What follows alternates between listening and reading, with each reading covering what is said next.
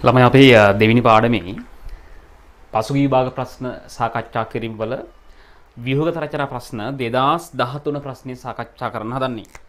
දෙදස් දහතුන අවුරුද්දේ ව්‍යුහගත රචනා පේපෙකි පලවෙනි ප්‍රශ්නය සාකච්ඡා කරන්න පටන්ගන්න හදන්නේ පුතේ හැම අවුරුද්ධකම ව්‍යුහගත රචනා පලවෙනි ප්‍රශ්නයාවට දෙවිනි පාඩමේ දැනු මැසුරින් කරන්න පුළුවන් හැබැයි සමහර තැන්වලද පමණක් හයවෙනි පාඩමේ එමනතන් අකාබනික රසායන පාඩමේ කොටස් එකතු වෙලා තියෙනවා ඒක ඉදිරියේදී අපි වේව සාකච්ඡා කරද්දී තේරෙයි අනිවාර්යයෙන්ම මේ වෙද්දී 2000 දහේ හෝ එකොළහයි සිට ඉදිරියට මේ දක්වා තියෙන සියලුම පසු විභාග ප්‍රශ්න ඔයා ගෙදරි තනියෙන් කරලා තියෙන්න ඕනේ. තනියෙන් කරාට පස්සේ ඔයත් එක්ක මම කරන මේ සාකච්ඡාව හුදෙක් පිළිතුරු කියා දීමක් පමණක් නොවේ මොනවද තියාගන්න. පිළිතුරු ටික නම් ඔයාට වියෝගත රචනා පේපරේ යහපැත බැලුවම බලා ගන්න පුළුවන්. මෙතනදී මම ඇත්තම මුදේ විභාගයේ වැදගත්ම කාරණා වැදගත්ම සාධකය තමයි කාලය කියන එක. ඔයා ප්‍රශ්නයකට පිළිතුරු ලබා ගන්නට භාවිතා කරන ක්‍රමවේදය. අපි තීරි පන්තිවලදී භාවිතා කරපු ක්‍රමවේදය අමුවෙන් ඒ විදිහටම භාවිතා කරනවද? නැත්නම් ඒක පොඩ්ඩක් ඒක වඩා විට වඩා වේගවත් කරලා භාවිතා කරනවද? මේ දේවල් තමයි අපි ප්‍රශ්න සාකච්ඡාවේදී කරන්නේ. මොකද අපි ඊටමත් අඩු කාලයකදී ප්‍රශ්නයකට උත්තර ලියා ගන්න පුළුවන් පුහුණුව ලබා ගන්න ඕනි. හොඳයි. මෙතන කියනවා මේ දීලා තියෙන ගුණාංග වැඩි වෙන පිළිවෙලට සකස් කරන්නලු. පළවෙනි එකේ බන්ධන දිග අපිට දීලා තියෙන අණු ටිකක්. පළවෙනි එකේ අණු ටිකක් දීලා තියෙනවා කාබන් මොනොක්සයිඩ් ඊට පස්සේ CO2 CO3 2- මෙන්න මේ තුන්දෙනාගේ CO බන්ධන දිග වැඩි වෙන පිළිවෙලට අපෙන් අහනවා. පැහැදිලි මං කියනදී? හරි. ඉතින් මේ වගේ තැනකදී නම් අපි සාමාන්‍යයෙන් කරන්නේ බන්ධන අඳිනවා අපි මුලින්ම අණුව ඇඳ ගන්නවා. අණුව ඇඳගෙන අපි බලනවා මෙන්න මේ විදිහට. ඉතින් පුතේ මෙතන අණුව අඳින හැටි මම කියා දෙදින්න වෙලාවක් නැහැ. CO කියන අණුව දෙවිනි පාඩම ඉගෙන ගත්ත බබෙක් වුණත් දන්නවා CO කියන අණුවේ ත්‍රිත්ත බන්ධනයක් තියෙනවා කියලා. අපි ලුයිස් වියු හැන්දා අණුවල මෙයාට දානාව මෙයාට රිනාව කොහොමද ත්‍රිත්ත බන්ධනයක් තියෙනවා. CO2 අපි ඇඳලා තියෙනවා ඒක අඳින දෙයක්ුත් නේ මතක් වෙනවා දිත්ත බන්ධන තියෙන්නේ. CO3 2- අපි දන්නවා ඔක්සිජන් තුන් දෙනෙක් 2- ඉන්නවා. පුතේ ලුයිස් වියු හන්දා නම් මෙතනද කියා දෙන්නේ නැහැ. මේක ප්‍රශ්න සාකච්ඡාවක්. මේකේ 2- තියෙන්න ඕන නිසා ඔක්සිජන් දෙදෙනෙක් මත ඍණ දාගත්තා අපි. මතකද? ඔක්සිජන් දෙදෙනෙක් මත ඍණ දාගත්තා. එවනි ඉතිරි ඔක්සිජන්ට සාමාන්‍යයෙන් ඔක්සිජන් කැමති දිත්ත බන්ධන හදන්න සංයුතවය දෙක ඒ නිසා ගැහුව දිත්ත බන්ධනයක්. අපි මෙන්න මේ කාරණා දන්න පුතා. ඔක්සිජන් දිත්ත බන්ධනයක් තියෙනවා උට ආරෝපණ නැහැ. තනි බන්ධනයක් තියෙනවා ඍණ ආරෝපණයක්. ත්‍රිත්ත බන්ධනයක් තියෙනවා නම් ධන ආරෝපණයක්. මේක කොහේ කොතන ගියත් කතාව ඇත්ත. ඔක්සිජන්ට දිත්ත බන්ධනය සාමාන්‍යයෙන් පුතේ ඔක්සිජන් වල බහුලම සංයුතාවය දෙක. ඔක්සිජන් වල බහුලම සංයුතාවය දෙක. එයා කැමති දෙක ඉන්න. එතන ආරෝපණ නැහැ. හැබැයි පුතා දෙකට වඩා බන්ධන අඩු වෙද්දී ඍණ ආරෝපණ එකතු වෙනවා. මෙයාගේ දෙකට වඩා බන්ධන වැඩි වෙද්දී ධන ආරෝපණ එකතු වෙනවා. දැන් මේ බලන්න මෙතන දිත්ත බන්ධනයක්. එහෙනම් ධන. මෙතන දිත්ත බන්ධනයක්. ආරෝපණයක් නැහැ. තනි බන්ධනයක්. ඍණ ආරෝපණයක් තියෙනවා. ඉතින් තියරිමේ සාකච්ඡාවවලදී අපි මේවට හේතු සාකච්ඡා කළා. අය ඍණ ආවි, ඒ ධන ආවි කියලා. නමුත් මෙතනදී පුතා ඔය ගොළුවේ තියෙන්න ඕනි මෙන්න මේ කාරණා තුන. සාමාන්‍ය බන්ධන දිග සඳහා බලපාන ප්‍රධානම සාධක කියලා අපි ඉගෙන ගත්තේ මොකද්ද? බන්ධන පෙළ. මතකද බන්ධන පෙළ හොයන්නේ මට කියන්න. මෙතන පුතා ත්‍රිත්ත බන්ධනක් තියෙන්නේ. එහෙනම් මට බන්ධන පෙළ කීයද? බන්ධන පෙළ කීයද? ත්‍රිත්ත බන්ධනය නම් බන්ධන පෙළ 3යි. මෙතන පුතේ CO බන්ධන තැන් දෙකක තියෙනවා. එහෙනම් මොකද කරන්න ඕනේ?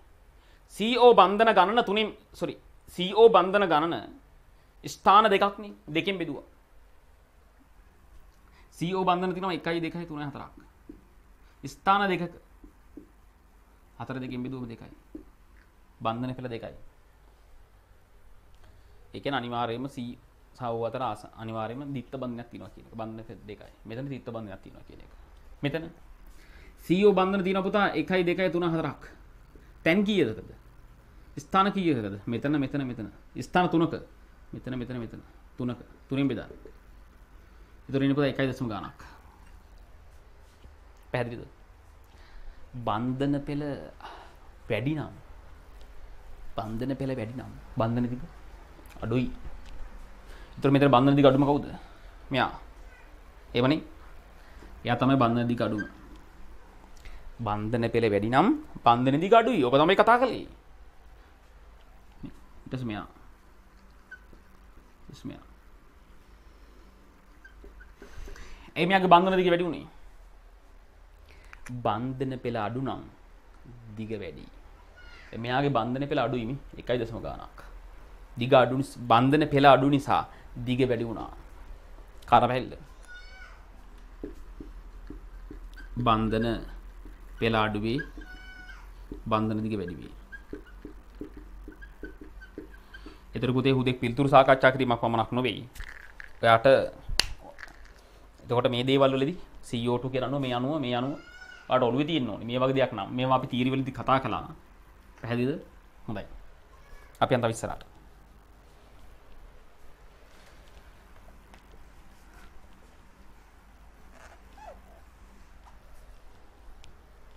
ඊට පස්සේ කියනකොට මේ මෙන්න මේ අණුවල මධ්‍ය පරමාණුවේ විද්‍යුත් ඍණතාවය අහනවා. දැන් NO2 plus NO3 minus NH3 මධ්‍ය පරමාණුවේ විද්‍යුත්තාවය සඳහා බලපාන පළවෙනිම කාරණාව මොකක්ද? පුතේ මධ්‍ය පරමාණුවේ විද්‍යුත්තාවය සඳහා බලපාන ප්‍රධානම කාරණාව මුහුම්කරණය. එක මුහුම්කරණය මතකද? වැරදිලා හරි මුහුම්කරණ සමාන දෙන්නෙක් ආවොත් ආරෝපණය බලන්න. ආරෝපණ සමාන දෙන්නේ බැලුවොත් ආරෝපණ සමාන වුණොත් මුහුම් කරන සමාන වෙලා ආරෝපණ සමාන වුණොත් ඔක්සිකරණක් කියලා බලන්න. ඒක සමාන වුණොත් අග්‍රස්ත පරමාණු සම්බන්ධ වෙලා තියෙන අග්‍රස්ත පරමාණු වල විද්‍යුත්තාවය බලන්න. හරි. මෙතන පුතේ දැන් මුහුම් කරන අපි ගන්න තුනයිනේ. මුහුම් කරන තුනයිනේ අපිට තියෙන්නේ. නේද? SP SP2 SP3 මුහුම් කරන බැලුවේ වෙස් පැසුරින් නේද? වෙස්ප දන්නවනම් මුහුම් කරන දන්නවා. වෙස්ප 2යි 3යි 4යි. වෙස්ප 2යි නම් SP 3යි නම් SP2 4යි නම් SP3. ඔහොමනේ ගත්තේ. එහෙම නේද? හොඳයි. මේ බලන්න. දැන් මුලින්ම බලන්න ඕනේ මුහුම් කරන්නේ. ඔයාලට තේරෙනවා මේ වෙස්ප වැඩි වෙනකොට පුතා මුහුම් කරන්නේ මොකද වෙන්නේ? S ගුණය අඩු වෙනවනේ. මේ විදුරිතාවය අපි දන්නවා මේ පැත්තට S ගුණය වැඩි වෙනවා. S ගුණය වැඩි වෙන උඩට යද්දී. වැඩි වෙනව නේද මේ? S ගුණය වැඩි වෙනවා. මෙතන මේ දෙන්නගෙන් එක්කනයි S. මෙතන මේ හතර දෙනෙක් ඉන්නවා. මෙයා එකයි මෙයා තුන හතරක් ඉන්නවා. හතරෙන් එකයි S ඉන්නේ. මෙතන හතරෙන් එකයි මෙතන දෙකෙන් එකයි. හතරෙන් එකට වඩා දෙකෙන් එක වැඩිනේ. S ගුණය වැඩි වෙනවා. S ගුණය වැඩි වෙනවා කියන්නේ විද්‍යුත් වැඩි වෙනවා මතකද?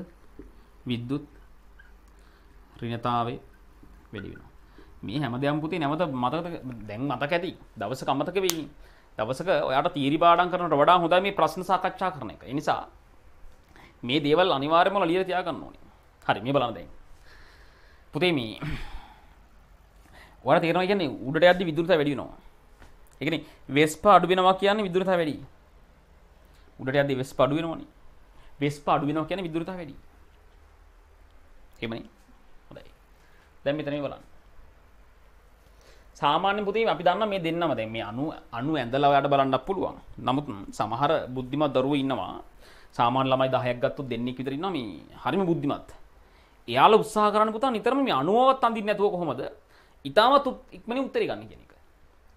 ඒකට යම් මානසික පුහුණුවක් අවශ්‍යයි. නමුත් ඒ දරුවා හරි උත්සාහ කරනවා.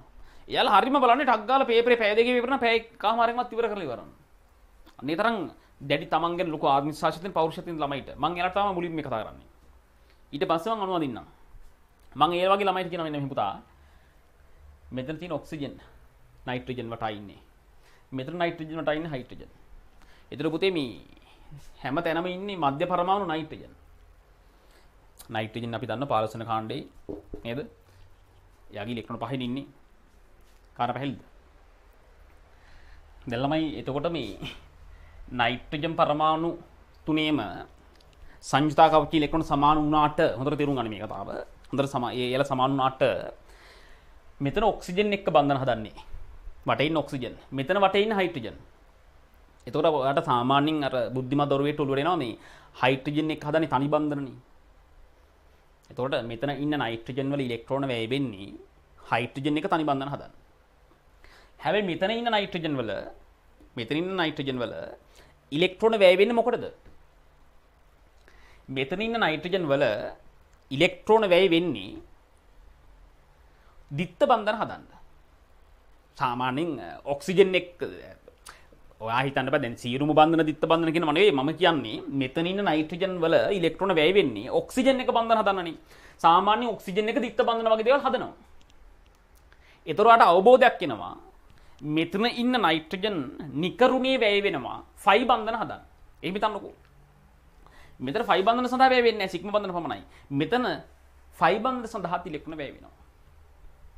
ඒ නිසා වෙස්ප ගණනය කරද්දී ඔයාට ඒක ඇඟට දැනෙන්න ඕන අනුවඳින්න කලින් මෙතන වෙස්ප වැඩි වගේ දැනෙන්න ඕනි. තේරුමකින්ද? හැබැයි මෙතන වෙස්ප අඩුයි වගේ දැනෙන්නත් ඕනි. මොකද පුතා මේ නයිට්‍රජන් වල ඉලෙක්ට්‍රෝන ෆයි බන්ධන සඳහා වැය වෙනවනේ. අපි වෙස්ප ගණන් ගද්දි ෆයි බන්ධන ගණන් ගන්න නැහැ නේ. නිසා නිකන් අපත ගිල ගිලි තන්නකෝ. මෙයාගේ වෙස්ප අඩුයි. මෙයාගේ වෙස්ප අඩුයි. කාර පැහැදිලිද? හරි. එතකොට මෙතන වෙස්ප වැඩි. වෙස්ප වැඩි නම් මේ බලන්න පහලට මේ 2 3 4 වෙස්ප වැඩි වෙනවා කියන්නේ විදුලිතාවය මොකද වෙන්නේ? අඩු වෙනවා. එහෙනම් මට බලන්න නැතුව කියන්න පුළුවන් පුතා NH3 තමයි විදුලිතාව අඩුම. පස්සේ අනුව ඇඳලා පෙන්නන්නම් ඔයාලට තේරෙයි හරි කියලා. එයාගේ වෙස්ප වැඩි කියලා මට දැනෙනවා මොකද තනි බන්ධනම තියෙන්නේ. වෙස්ප වැඩි කියන්නේ විදුලිතාව අඩු. මේ දෙන්නගෙන් මෙතන පුතා සමස්ත අණුව දිහා බලන්න ඉලෙක්ට්‍රෝනයක් තව එකතු වෙලා තියෙනවා මේ. ඉලෙක්ට්‍රෝනක් එකතු වෙලානේ ඍණ කියන්නේ. මේ සමස්ත අණුව දිහා බලන්න ඉලෙක්ට්‍රෝනක් ඉවත් වෙලා තියෙනවා මේ. ධන කියන පුතා ඉලෙක්ට්‍රෝනක් ඉවත් වෙනවා. කාරණා පැහැදිලිද? ධන කියන්නේ ඉලෙක්ට්‍රෝනක් ඉවත් වෙනවා. දැන් මේ බලන්න. දැන් පුතේ මෙතන මේ ඉලෙක්ට්‍රෝනක් ඉවත් වෙනවා කියන්නේ වෙස්ප දැන් වෙස්ප ප්‍රමාණය බලද්දි තව අඩු වෙයි නේද වෙස්ප මෙතන ඉලෙක්ට්‍රෝනක් එකතු වෙලා තිනවා කියන්නේ දැන් මේ දෙන්න අතර ඉතින් ප්‍රශ්නේ තියෙන්නේ වෙස්ප වැඩි කවුද වෙස්ප අඩු කවුද මේ දෙන්න අතර තමයි ප්‍රශ්නේ තියෙන්නේ මෙතන පුතා ඉලෙක්ට්‍රෝනක් එකතු වෙලා කියන්නේ මෙතන වෙස්ප වැඩි කියලා හිතනවා. මෙතන වෙස්ප අඩුයි කියලා හිතනවා.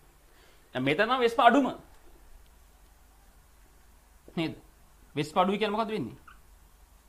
මේ වෙස්ප අඩුයි කියන්නේ විදුලියතාව වැඩි වෙලා තියෙනවා. අන්න ඔය විදිහට උත්තරයක් ගන්න පුළුවන් මට නම්. තරකෙන් සාමාන්‍ය තප්පර කිහිපයක තරකෙන් මේක ගන්න පුළුවන් විදිහට ඒ වගේ දරුවෝ ප්‍රැක්ටිස් කරනවා. හැම දරුවෙක්ටම ওই තත් වෙන්න බැරි වෙයි. නමුත් එහෙම කරන දරුවෝ තමයි දිස්ත්‍රික් රැංක් එකේ හොඳ රැංක් දාන්නේ. එහෙම නැති ළමයිට ඉතින් අපිට අණුව ඇඳලා පෙන්වන්න වෙනවා. ඉතින් එයාට ඉතින් අණුව ඇඳ ඇඳ ඉන්න ගියොත් ලොකු වේලාවක් යනවා. නේද? දැන් පුතේ මුලින්ම මුහුම් කරන්නේ බලනවා. මුහුම් කරන්නේ බලනවා. දැන් පුතා මෙතන මේව දෙකක් තියෙනවා. SP මේ? වෙස්ප දෙකක් තියෙනවා කියන්නේ SP මෙතන වෙස්ප තුනක් තියෙනවා. 1යි 2යි 3යි SP2 වෙස් මෙතන වෙස්ප හතරක් තියෙනවා. 1යි 2යි 3යි 4ක් SP3 නේද? එතන වෙස්ප හතරක් තියෙනවා SP3 හරි. දැන් ඔයාලට පැහැදිලි මෙතන SP3 කියන්නේ විදුලිත අඩුයි. SP3 කියන්නේ විදුලියතාව අඩුයි. උඩට යද්දී විදුලියතාව වැඩි වෙන්නේ. මේ SP3 විදුලියතාව අඩුයි. දැන් මුහුම් කරන සමානයිනේ මේ දෙන්නගේ. මුහුම් කරන සමාන නම් මොකද ඊළඟට බලන්න ඕනේ. මුහුම් කරන සමානයි නම් ආරෝපණය. දැන් මෙයා මතත් පුතා ආ සෝරි ආරෝප පුතා මේ මුහුම් කරන සමාන නෑ නේද? අර මුහුම් කරන සමාන නෑ. දැන් මේ දෙන්නගෙමුත් SP නේද විදුලියතාව වැඩිම මේ උඩට එද්දී SP තමයි දුරස වැඩිම. මෙයා SP. මෙයා SP2. කෙලිම මුහුම් කරන්නේ මේ සෙට් වෙනවනේ. ආරම්භවන්න දැන් නැහැ නේ. SP3, SP2, SP. දැන් ඔයාලට අවබෝධයක් ආවද? මේ පැත්තට මුහුම් කරන S ගුණය වැඩි වෙනවා. N මත මුහුම් කරණේ S ගුණය වැඩි වේ. S ගුණය වැඩි වෙනවා කියන පුතා විදුලිත වැඩි වෙනවා.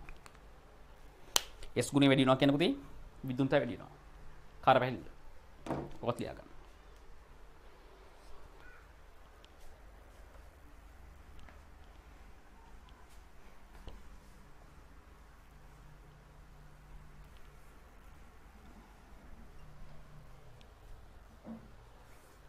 හරිනේ. හොඳයි. දැන් ඊළඟට වියෝජන උෂ්ණත්වය වැඩි කවුද කියලා යහන්නේ තුනය දැන් පුතා ඉන්නේ අපිට බෙරිලියම් සල්ෆේට් ඉන්නෝ මැග්නීසියම් සල්ෆේට් ඉන්නෝ තව ඉන්නෝ කැල්සියම් සල්ෆේට් නේ. කැල්සියම් සල්ෆේට් ඉන්නවා මේ තුන්දනාගේම ඍණායනය සමානයිනේ නේද? ඍණායනය සමානයිනේ මේ පැත්තට. සල්ෆේට් ඉන්නේ ඍණායනය විදියට. ඍණ අයනය සමානයි. ඍණායනය සමානයි නම් ධනායනය ගැන බලන්න ඕනේ. නේ ධනායනය මොකද වෙන්නේ? ධන අරේ අරේ බෙර්ලියම් 2+ වලට වඩා අපි දන්නවා මෙයා කාණ්ඩේ පහළ ඉන්නේ. මෙයා තවත් කාණ්ඩේ පහළ ඉන්නේ දෙවෙනි කාණ්ඩේ. කාණ්ඩේ පහළ යනවා කියන අරේ වැඩි වෙනවනේ. ධනායනයේ අරේ මේ විදිහට වැඩි වෙනවා. පුතේ ධනායනයේ අරේ වැඩි වෙනවා කියන්නේ ආරෝපණ ඝනත්වය මොකද වෙන්නේ? ධනායනයේ අරේ වැඩි වෙනවා කියන්නේ. ආරෝපණ ඝනත්වයත් වැඩි වෙනවා. ආරෝපණ ඝනත්වය. මේ විදිහට වැඩි වෙනවා.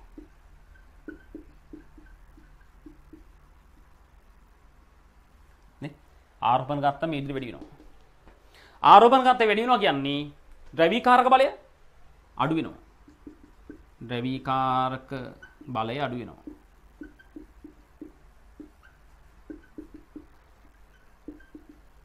ද්‍රවීකාරක බලය අඩු වෙනවා.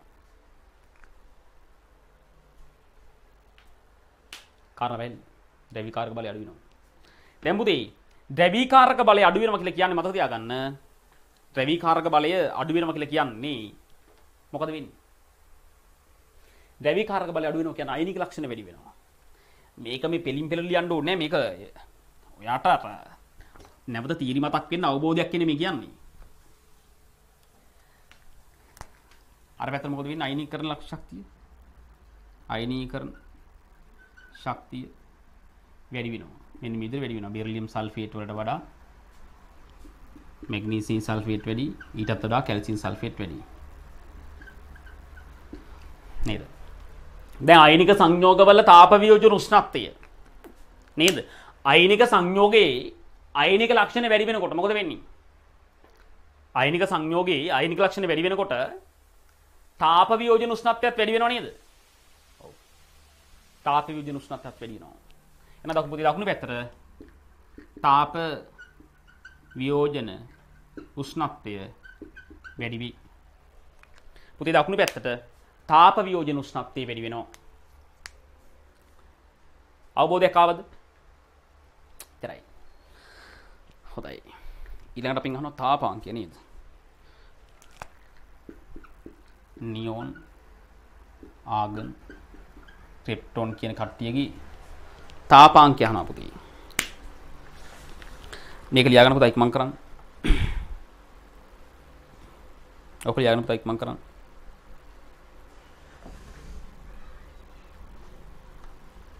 දැන් ඔබ දන්නවා මේ හැමෝම ඒක පරමාණුකයි. මේ නියෝන් කියන්නේ 90ක් දී පරමාණුක ත්‍රි පරමාණුනේ ඒක පරමාණුක.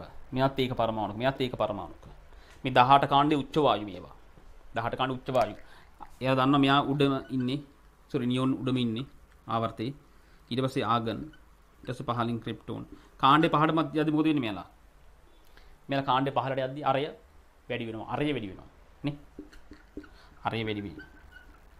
අරය වැඩි වෙනවා කියලා කියන්නේ මෙයාලගේ ලන්ඩන් අපකරණ බල වැඩි වෙනව නේද? මේ 90 එහෙම නැත්නම් ඒක පරමාණුක 90 ලොකු වෙන්න ලොකු වෙන්න මෙයාලා ලොකු වෙන්න ලොකු වෙන්න ලන්ඩන් අපකරණ බල වැඩි වෙනවා. ලන්ඩන් අපකිරණ බල වැඩි වී. ලන්ඩන් අපකරණ බල වැඩි වෙනවා. එතකොට පුතා ලන්ඩන් අපකරණ බල වැඩි වෙනවා කියන්නේ මොකද වෙන්නේ?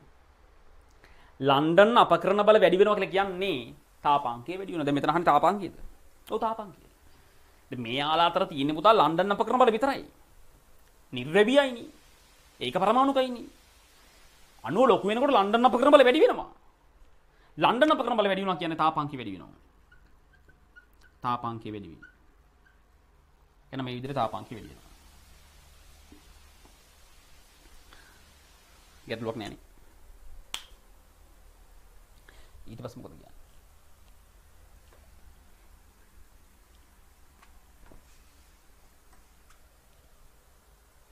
ඊළඟට පුතා දෙනවා අපට පරමාණු කරය.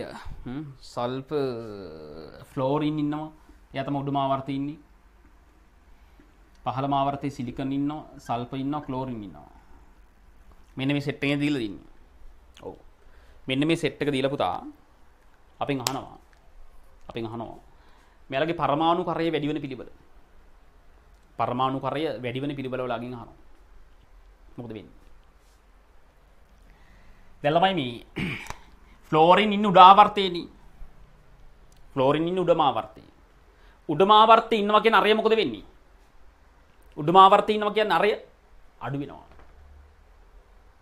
සාමාන්‍ය පුතේ කාණ්ඩ දිගේ පහළට යද්දී ලොකු වෙන්නේ. උඩුම එකා පොඩි. මේ ෆ්ලෝරින් පොඩි. දැන් මේ තුන් දෙනා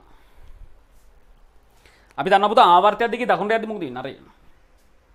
අරය අඩුයි. දකුණු පැත්තේ යද්දී අරය අඩු වෙනවා. එන වමට යද්දී අරය වැඩි වෙනවා.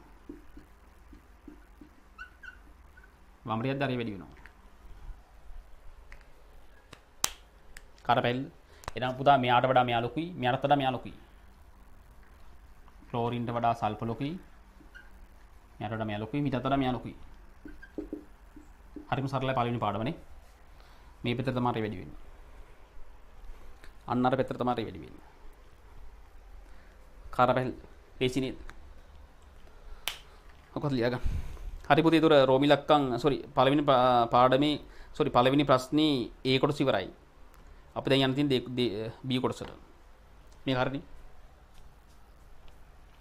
අපි යන්න පුතා ඉස්සරහට. B කොටස බලමු මේක.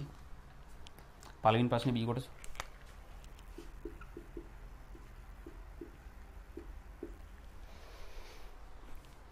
පුතේ මෙතන 90ක ලුයිස් වි අඳින්න තියෙන්නේ. එයාගේ සැකිල්ල දීලා තියෙනවා. HN uh, sorry NH2 NO2 in sorry. NH2 NO2 මෙන්න මෙයාගේ පුතේ සැකිල්ල දීලා තිනවා දැන් අපි ලුබිස්සුවේ අඳින්න ඉගෙන ගත්තේ අපි තිරිපන්තිය වල කෙලින්ම සැකිල්ල බව අපිම තමයි නිර්මාණය කරගත්තේ. මෙතන එහෙම ප්‍රශ්නයක් නැහැ. අපිට සැකිල්ල දීලා තියෙනවා. නේද සැකිල්ල දීලා තියෙනවා අපිට තියෙන අණුවෙන්ද ගන්න කරයි දැන් පුතේ ලුවිස්සුවේ අඳින්න කියන්නේ සාමාන්‍ය ලුවිස්සුවක් අඳිද්දි ක්‍රම දෙකක් තියෙනවා. එකක් දීර්ඝ ක්‍රමය අනිත් එක කෙටි ක්‍රමය.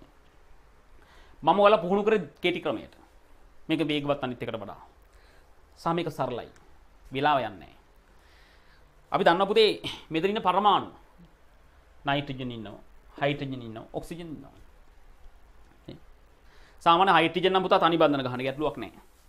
මෙයාලා තනි බන්ධනයකට කමන්නේ. හැබැයි පුතේ ඔක්සිජන් උගේ සාමාන්‍යයෙන් සංයුතාවේ දෙකයිනේ බහුලම සංයුතාවේ. ඌ කැමති දිත්ත බඳන ගහන්න. නැත්තම් මෙන්න මේ කතාවක් දන්නවා. සාමාන්‍යයෙන් ඔක්සිජන් කැමති දිත්ත බඳන ගහනනේ. ඒ නිසා දිත්ත බඳනයක් ගැහුවොත් ආරෝපණයක් නෑ යාමත. දිත්ත බඳන නැතුව තනි බඳනයක් ගැහුවොත් මොකද වෙන්නේ? ඒකට බඳනයක් අඩු වුණොත් මොකද වෙන්නේ?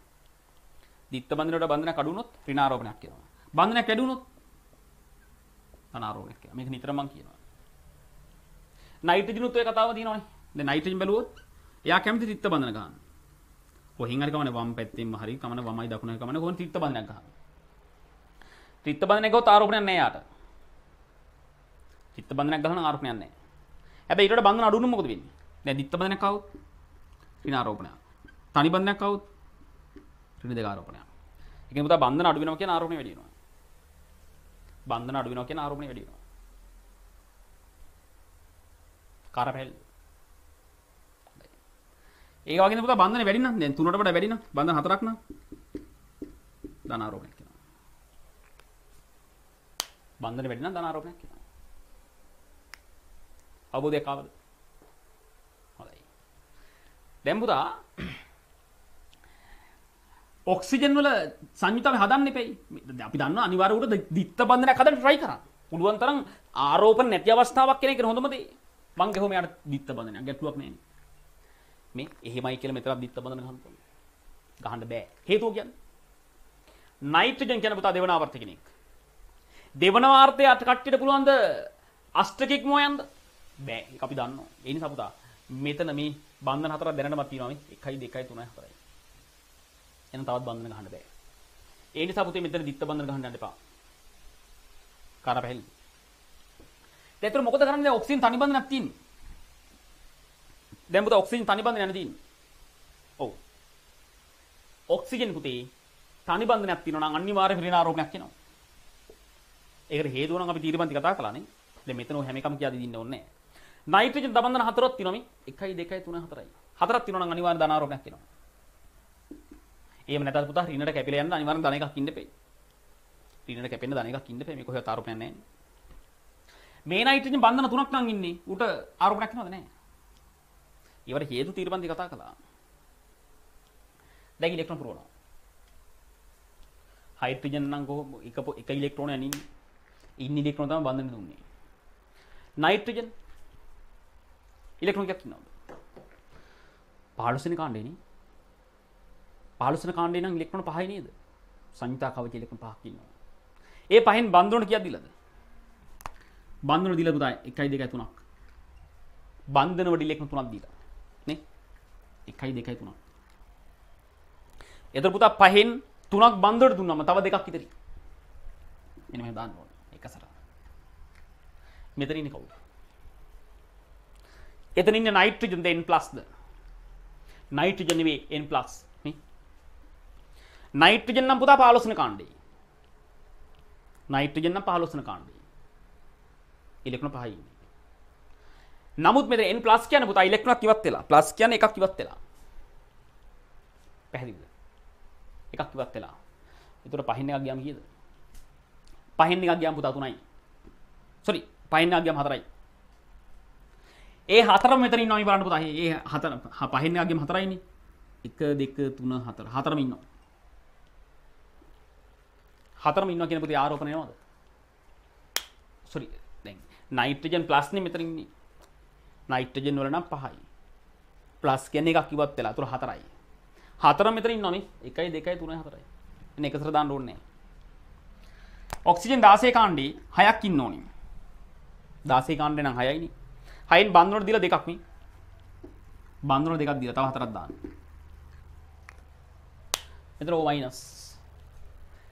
O 16 කාණ්ඩේ 6යි. මයිනස් නම්.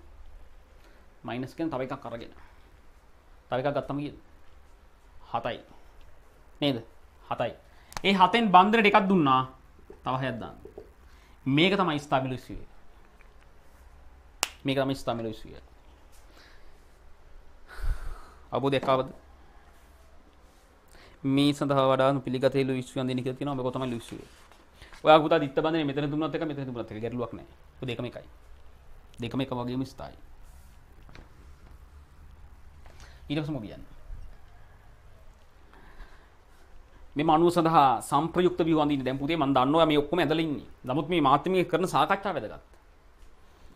සම්ප්‍රයුක්ත ව්‍යුහ පුතේ මෙතන මේක අඳින්නේ නැතුව සම්ප්‍රයුක්ත ව්‍යුහ කීයක් තියෙනවද කියලා මට කියන්න පුළුවන්. මෙයාව අඳින්නේ නැතුව සම්ප්‍රයුක්ත ව්‍යුහ කීයක් තියෙනවද කියලා මට කියන්න පුළුවන්. කොහොමද කියන්නේ? අපිට පුළුවන් පුතා මේ ෆයි බන්ධනේ තියෙන තැන මාරු කරන්න. ඒ මාරු කර කරන අපි සම්ප්‍රයුක්ත අඳින්නේ. මේ සාමාන්‍ය පුතේ මම මේ කියා දෙන දේ තුන්වන ආවර්තයේ මූලට අවින්න අවස්ථාවක කියන්න බෑ. තුන්වන ආවර්තයේ මූලට අවින්න අවස්ථාවක කියන්න බෑ. දැන් මෙතන තුන්වන ආවර්තය නෑනේ දෙවන ආවර්තය නේ නයිට්‍රජන් ඔක්සිජන් කියන දෙවන ආවර්තය. මේ බලන්න. දැන් පුතා මේ නයිට්‍රජන් එක ගහලා තියෙන දිත්ත බන්ධනය, ෆයි බන්ධනය ගලවලා වොන්නම් මේ ඔක්සිජන් එක ගහන්නත් පුළුවන්. එහෙම නැත්නම් මේ නයිට්‍රජන් එක ගහන්නත් පුළුවන්. මේ ෆයි බන්ධනේ ගලවලා මෙතන මෙයත් එක්ක ගහන්න පුළුවන් මෙයත් එක්ක ගහන්න පුළුවන්. කොහොමද මං එහෙම හොයා බලන්නේ නැතුව කෙලිම කිව්වේ ගහන්න පුළුවන් කියලා? ඇයි පුතා මේ නයිට්‍රජන් එක්කනේ මෙයා සම්බන්ධ වෙලා තියෙන්නේ? මේ නයිට්‍රජන් එක්ක මෙයා සම්බන්ධ වෙලා තියෙන්නේ. මේ ෆයි බන්ධනේ ගලවලා මෙතනින් ගහන්න.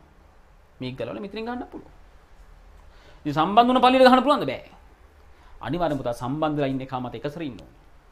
දැන් හරිනේ. මෙයා මත එකසර ඉන්න ඕනේ. ඒ නිසා මේ ෆයි බන්ධනේ ගලවලා මෙතනින් ගහන්න පුළුවන් මෙයා මතත් එකසර ඉන්නවනේ. මේ ෆයි බන්ධනේ ගලවලා මෙතනින් ගහන්න පුළුවන්. ඒතර පුතා මෙයා තමයි කේන්ද්‍රස්ථානය. මෙයා ඉඳලා උඩට ෆයි බන්ධනයක් තියෙනවා. ඒක ගලවලා මේ පැත්තෙන් ගහන්න පුළුවන්. ඇයි? මෙයා මත එකසර ඉන්න නිසා. මේක ගලවලා මෙයා මත ගහන්න පුළුවන්. ඇයි? මෙයා මත එකසර ඉන්න නිසා. මේක ගලවලා වෙන කොහෙවත් කැලේ පල්ලෙක් ගහන්න බෑ. මේක ගහන්න පුළුවන්නේ මෙයා එක්ක සම්බන්ධ වෙලා ඉන්න වෙන පරමාණුවක් එක පමණයි. මෙයාට මෙයත් එක්ක ගහන්න පුළුවන්. මෙයා මත එකතු වෙන නිසා. මෙයාට මෙයාත් එක්ක ගන්න පුළුවන්. මෙයා මත එකතු වෙන නිසා. එහෙනම් පුතේ 5 බන්ධනේ තැන් තුනක තියෙන්න පුළුවන්. එක්කෝ මෙතන නැත්තම් මෙතන නැත්තම් මෙතන. ඒ කියන්නේ පුතා සම්ප්‍රයුක්ති තුනක්.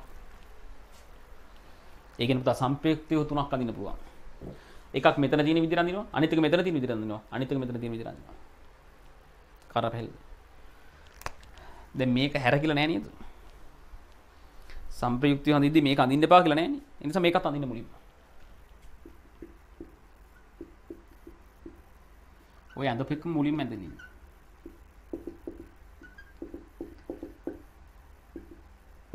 ඔය එකක්. අනිත් එක පුතා මේ ෆයි බන්ධන කරලා මෙතන ගහන්න. දැන් ඔයා ගෙදරදී මේක කරලා තියෙන නිසා මම ටට්ටක් ගාලා කරනවා මේ බලන්න. වම් පැත්ත මුකුත් කරන්නේ නැහැ ඒක විදිහම තියාගන්නවා. පුතේ සැකිල වෙනස් වෙන්න බෑ හොඳින් දැන් මේ හිතෙන්. පුතා මේ හිතෙන් මේ ෆයි බන්ධනේ ගලවන්න. හිතෙන්. ගලවලා ඒක ඉලෙක්ට්‍රෝන දෙක උඩ ඔක්සිජන්ට දෙන්න. දැන් මේ දැනටමත් ඔක්සිජන් මට තියෙනවනේ මෙහෙම ඉලෙක්ට්‍රෝන යුගල දෙකක්. දෙකක් තියෙනවනේ. මේ ෆයි බන්ධනේ ගලවලා එයාගේ ඉලෙක්ට්‍රෝන යුගලත් උඩින් දාන්න මෙන්න මෙහෙම. පැහැදිලි එතන මොකද කරන්නේ? මෙන්න මේ ඉලෙක්ට්‍රෝන යුගල අරගෙන ගලවලා මේ ඉලෙක්ට්‍රෝන යුගල ගලවලා ගන්න. ඉතුරු ඉන්න තව දෙකයි ඉන්නේ. මේ යුගල ගලවලා මෙන්න මේ දෙදෙනා අතර ෆයි බන්ධනය හදන්න. මේවා තීර බන්ධනය කතා කරලා මේ යුගල ගලවලා මේ දෙන්න අතර බන්ධනයක් විදිහට ගහුවා හරි සරලයි. මේ ෆයි බන්ධනය ගලවලා උඩින් දැම්මා එක සරයුගලක් විදිහට. මේ යුගල ගලවලා මෙතන ෆයි බන්ධනයක් විදිහට ගහුවා. එක ෆයි බන්ධනයක් කැඩෙද්දි තව ෆයි බන්ධනයක් හැදුවා පැහැදිලි. තනි බන්ධනයන් හරි නේනවා. මෙතන නයිට්‍රජන් බන්ධන හතරක් නම් දනේනවා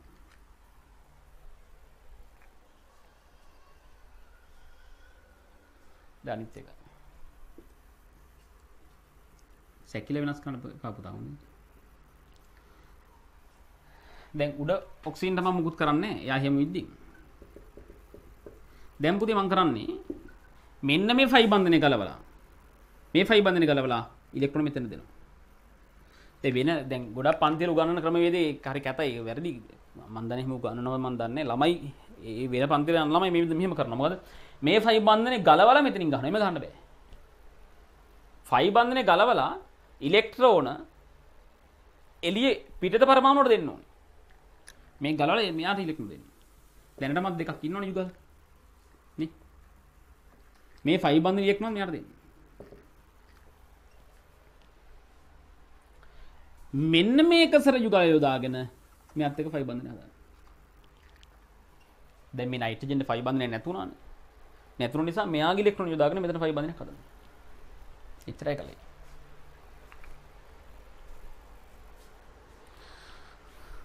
පැද්ද. දැන් පුතා ඔක්සිජන් තනි බන්ධනයක් නම් අනිවාර්යයෙන්ම ඍණාරෝපණයක් වෙනවා නයිට්‍රජන් බන්ධන හතරක් නම් මේ 1 2 3 4 බන්ධන හතරක් නම් ධනාරෝපණයක් වෙනවා මෙතනත් 1 2 3 4 බන්ධන හතරක් නම් ධනාරෝපණයක් වෙනවා කරන හෙල්ද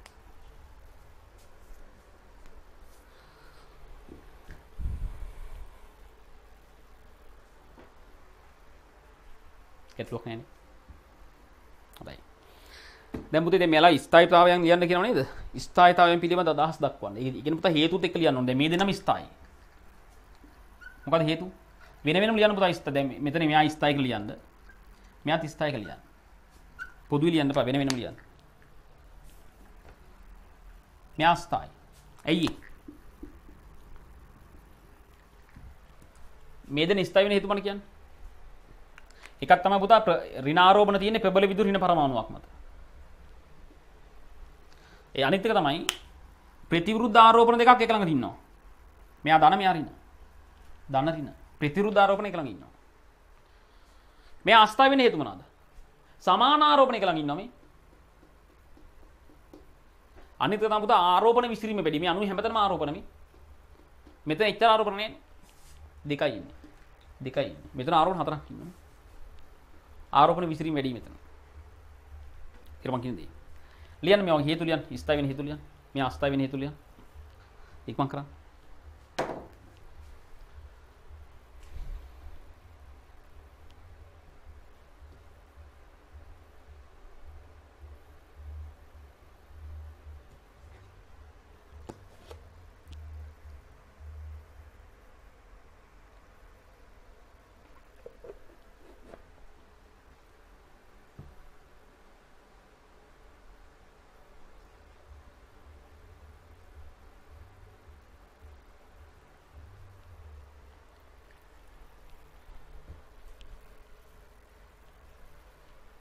මෙයා ලියන්න පුතා මොකද්ද?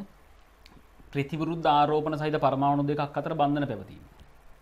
නේ? ප්‍රතිවිරුද්ධ ආරෝපණ සහිත බන්ධන දෙකක් අතර බන්ධන පැවතීම. ස්ථායි වෙන හේතු.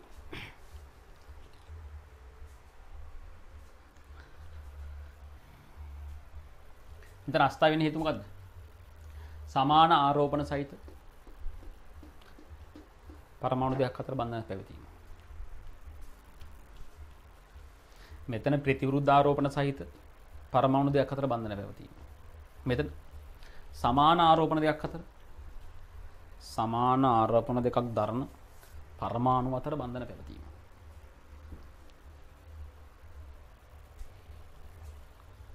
අනිත් දා පුතා ආරෝපණ විසිරීම වැඩි මේ හැමතැනම ආරෝපණ.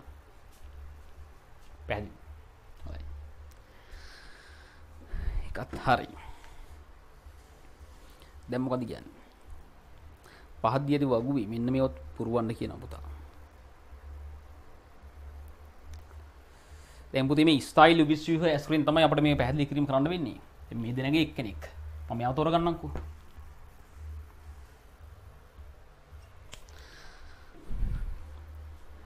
මේ පරමාණු වටා ඉලෙක්ට්‍රෝනික ජ්‍යාමිතිය හැඩය මුහුම් කරණය.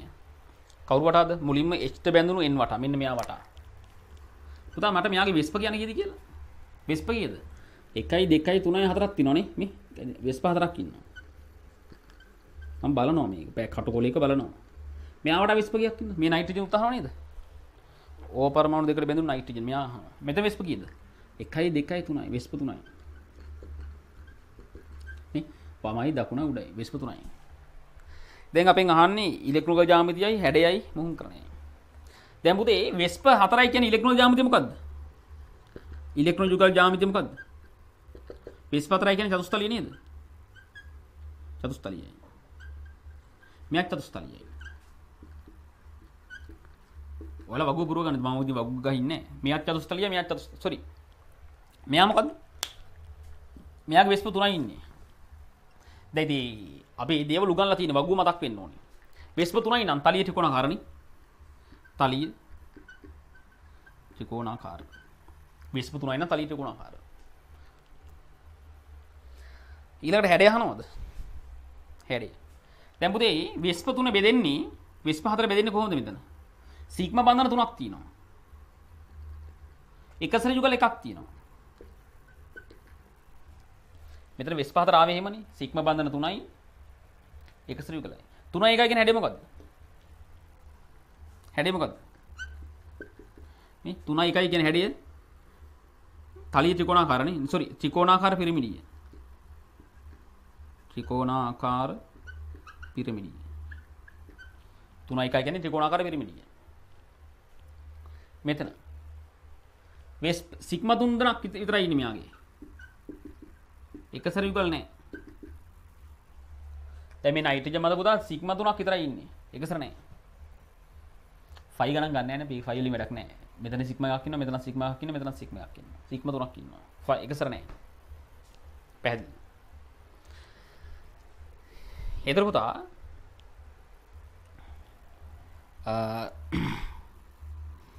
හැඩය මොකක්ද 3.0 කියන්නේ තලිය ත්‍රිකෝණාකාර. තලිය ත්‍රිකෝණාකාර. ඊට පස්සේ මොකද කියන්නේ? ඊට පස්සේ කියනවා මුහුම් කරණය. දැන් මුහුම් කරණය වෙස්ප හතරයි නම් මුහුම් කරණය මොකක්ද? sp3. නේද? මුහුම් කරණය sp3. මෙයාගේ වෙස්ප තුනයි නම් sp2. අපි ඒ වගුව ඉගෙනගෙන තියෙනවා. හතරයි නම් sp3, තුනයි නම් sp2. එච්චරයි.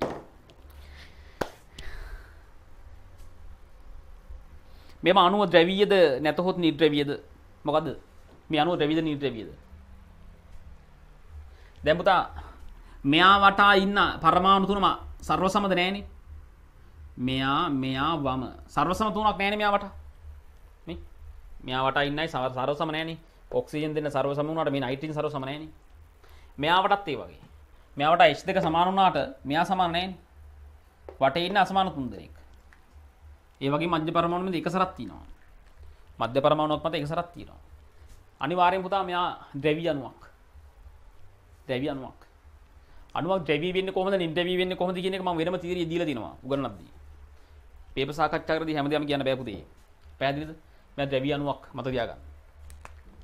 මෙයා ද්‍රව්‍ය අණුවක්. ඊට පස්සේ මොකද කියන්නේ?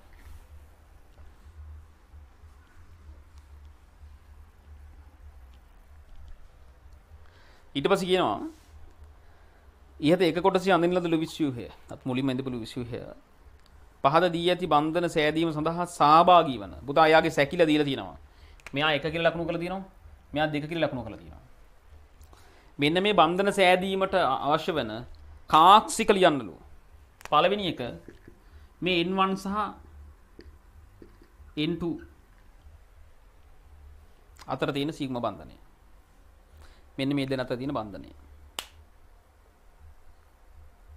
පුතේ මේ අතර තියෙන බන්ධනය මේ තනි බන්ධනය යන්නේ මේක සිග්ම බන්ධනයන්නේ.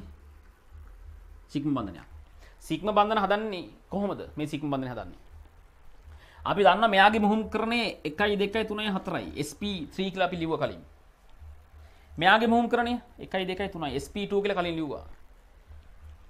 එහෙනම් මේ බන්ධනය හැදෙන්නේ කොහොමද? N1 හි SP3 මූකා මූකා කියන මුහුම් කාක්ෂිකය. මෙයාගේ SP3 මුහුම් කාක්ෂිකයයි ධන මෙයාගේ මොකද්ද? N2 හි SP 2 මූකා මූකා කියන මුහුම් කාක්ෂිකය. මෙන්න මේ මුහුම් කාක්ෂික දෙක එකතු වෙලා තමයි පුතා ওই සිග්ම බන්ධනය හැදෙන්නේ. මෙන්න මේ මුහුම් කාක්ෂික දෙක එකතු වෙලා තමයි ওই සිග්ම බන්ධනය හැදෙන්නේ. බලන්න කොච්චර සරලද කියලා. අපි පුතා මේ තාම සබ්ජෙක්ට් එක අලුත්. අපි දෙවෙනි පාඩම ඉගෙන ගත්තා පමණයි. දැන් වෙන පන්තිවල නම් පුතා දෙවෙනි පාඩම ඉගෙනගෙන මාස ගාණක් ගියාට පස්සේ වෙන පාඩම් ඔක්කොම අවසාන අවුරුද්ද වගේ තමයි පේපර් සාකච්ඡා කරන්නේ. අපි එහෙම කරේ නෑනේ. පාඩමක් ඉවර වෙද්දී ඊට අදාළ ප්‍රශ්න සාකච්ඡා කරනවා. ඉතින් මම දෙන වැඩ ටික හරියට කරන දරුවෙක් විභාග ෆේල් වෙයි කියලා හිතනවද? ෆේල් වෙන්නේ නෑ පුතා. අවම C BA N1 සහ H අතර මෙන්න මේ බන්ධනය හන්නේ. N1 වල මුහුන් කරන දන්නවනේ. N1 හි SP3 තියෙන්නේ මූකා. හැබැයි පුතා හයිඩ්‍රජන් වල මුහුන් කරණයක් වෙන්නේ නැහැ නේ මෙතන. එයා ඉන්නේ එකේස් පරමාණු කාක්ෂිකයක්. හයිඩ්‍රජන් හි එකේස් එකේස් පරකා.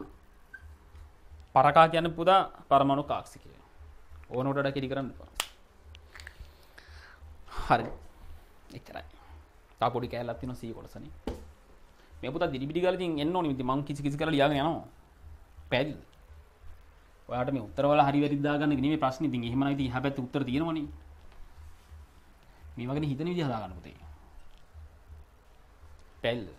දැන් පුතා C කොටස බලන්න ඉක්මන් කරන්න. මොකක්ද කියන්නේ පුතේ? අපට දීලා තියෙන පුතා සෙනෝන් දීලා තියෙනවා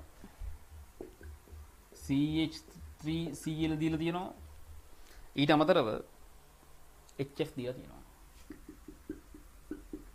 මෙන්න මෙයාලගේ තියෙන ආකර්ෂණ බල මුලින්ම කියනවා මේ දීදව දීදව ආකර්ෂණ බල තියෙන මොන අණුවලද කියලා. දීදව දීදව ආකර්ෂණ බල.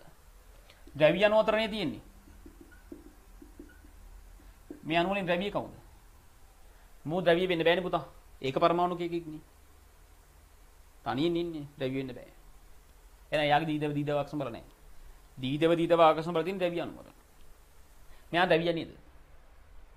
මං අණුවක් ද්‍රව්‍යද නිර්ද්‍රව්‍යද කියලා බලන ලස්සන තීරියක් දීලා තියෙන එක මතක් වෙන්න ඕනේ. මෙතන මධ්‍ය පරමාණු මත එකසර නැහැ. අග්‍රස්ත පරමාණු අසමානයි. මේ හයිඩ්‍රජන් 3යි 100. අග්‍රස්ත පරමාණු අසමානයි කියන්නේ අනිවාර්යෙන් ද්‍රව්‍යයි. අග්‍රස්ත පරමාණු අසමානයි කියන්නේ අනිවාර්යෙන් ද්‍රව්‍යයි. එහෙනම් ද්‍රව්‍ය නම් මෙයාගේ දීදව දීදව ආකර්ෂණ බල තියෙනවා. ද්‍රව්‍ය නම් දීදව දීදව ආකර්ෂණ බල තියෙනවා. අනිතික මෙයා HF මේ දැන් අතර විදුලිත වෙනසක් තියෙනවනේ පුතා. ඒක තනි බන්ධන යන තියෙන්නේ. වෙනසක් තියෙනවා කියන්නේ ද්‍රව්‍යයි. ද්‍රව්‍ය අණු අතර දී දෙවි දී වක්ෂණ බල තියෙනවා. පැහැදිලිද? ඊළඟට හයිඩ්‍රජන් බන්ධන. පුතේ හයිඩ්‍රජන් බන්ධන තියෙන්නේ ද්‍රව්‍ය හයිඩ්‍රජන් තියෙන්න ඕනේ. මෙතන ද්‍රව්‍ය හයිඩ්‍රජන් නැහැ නේ. මෙතනත් නැහැ නේ. මෙතන ද්‍රව්‍ය හයිඩ්‍රජන් තියෙනවා. ඇයි? ෆ්ලෝරීන්ට සම්බන්ධ වුණ හයිඩ්‍රජන් පරමාණුවක් ඉන්නවා. ෆ්ලෝරීන්ට සම්බන්ධ වුණ හයිඩ්‍රජන් පරමාණුවක් ඉන්නවා. ඒ නිසා යා ද්‍රව්‍යයි.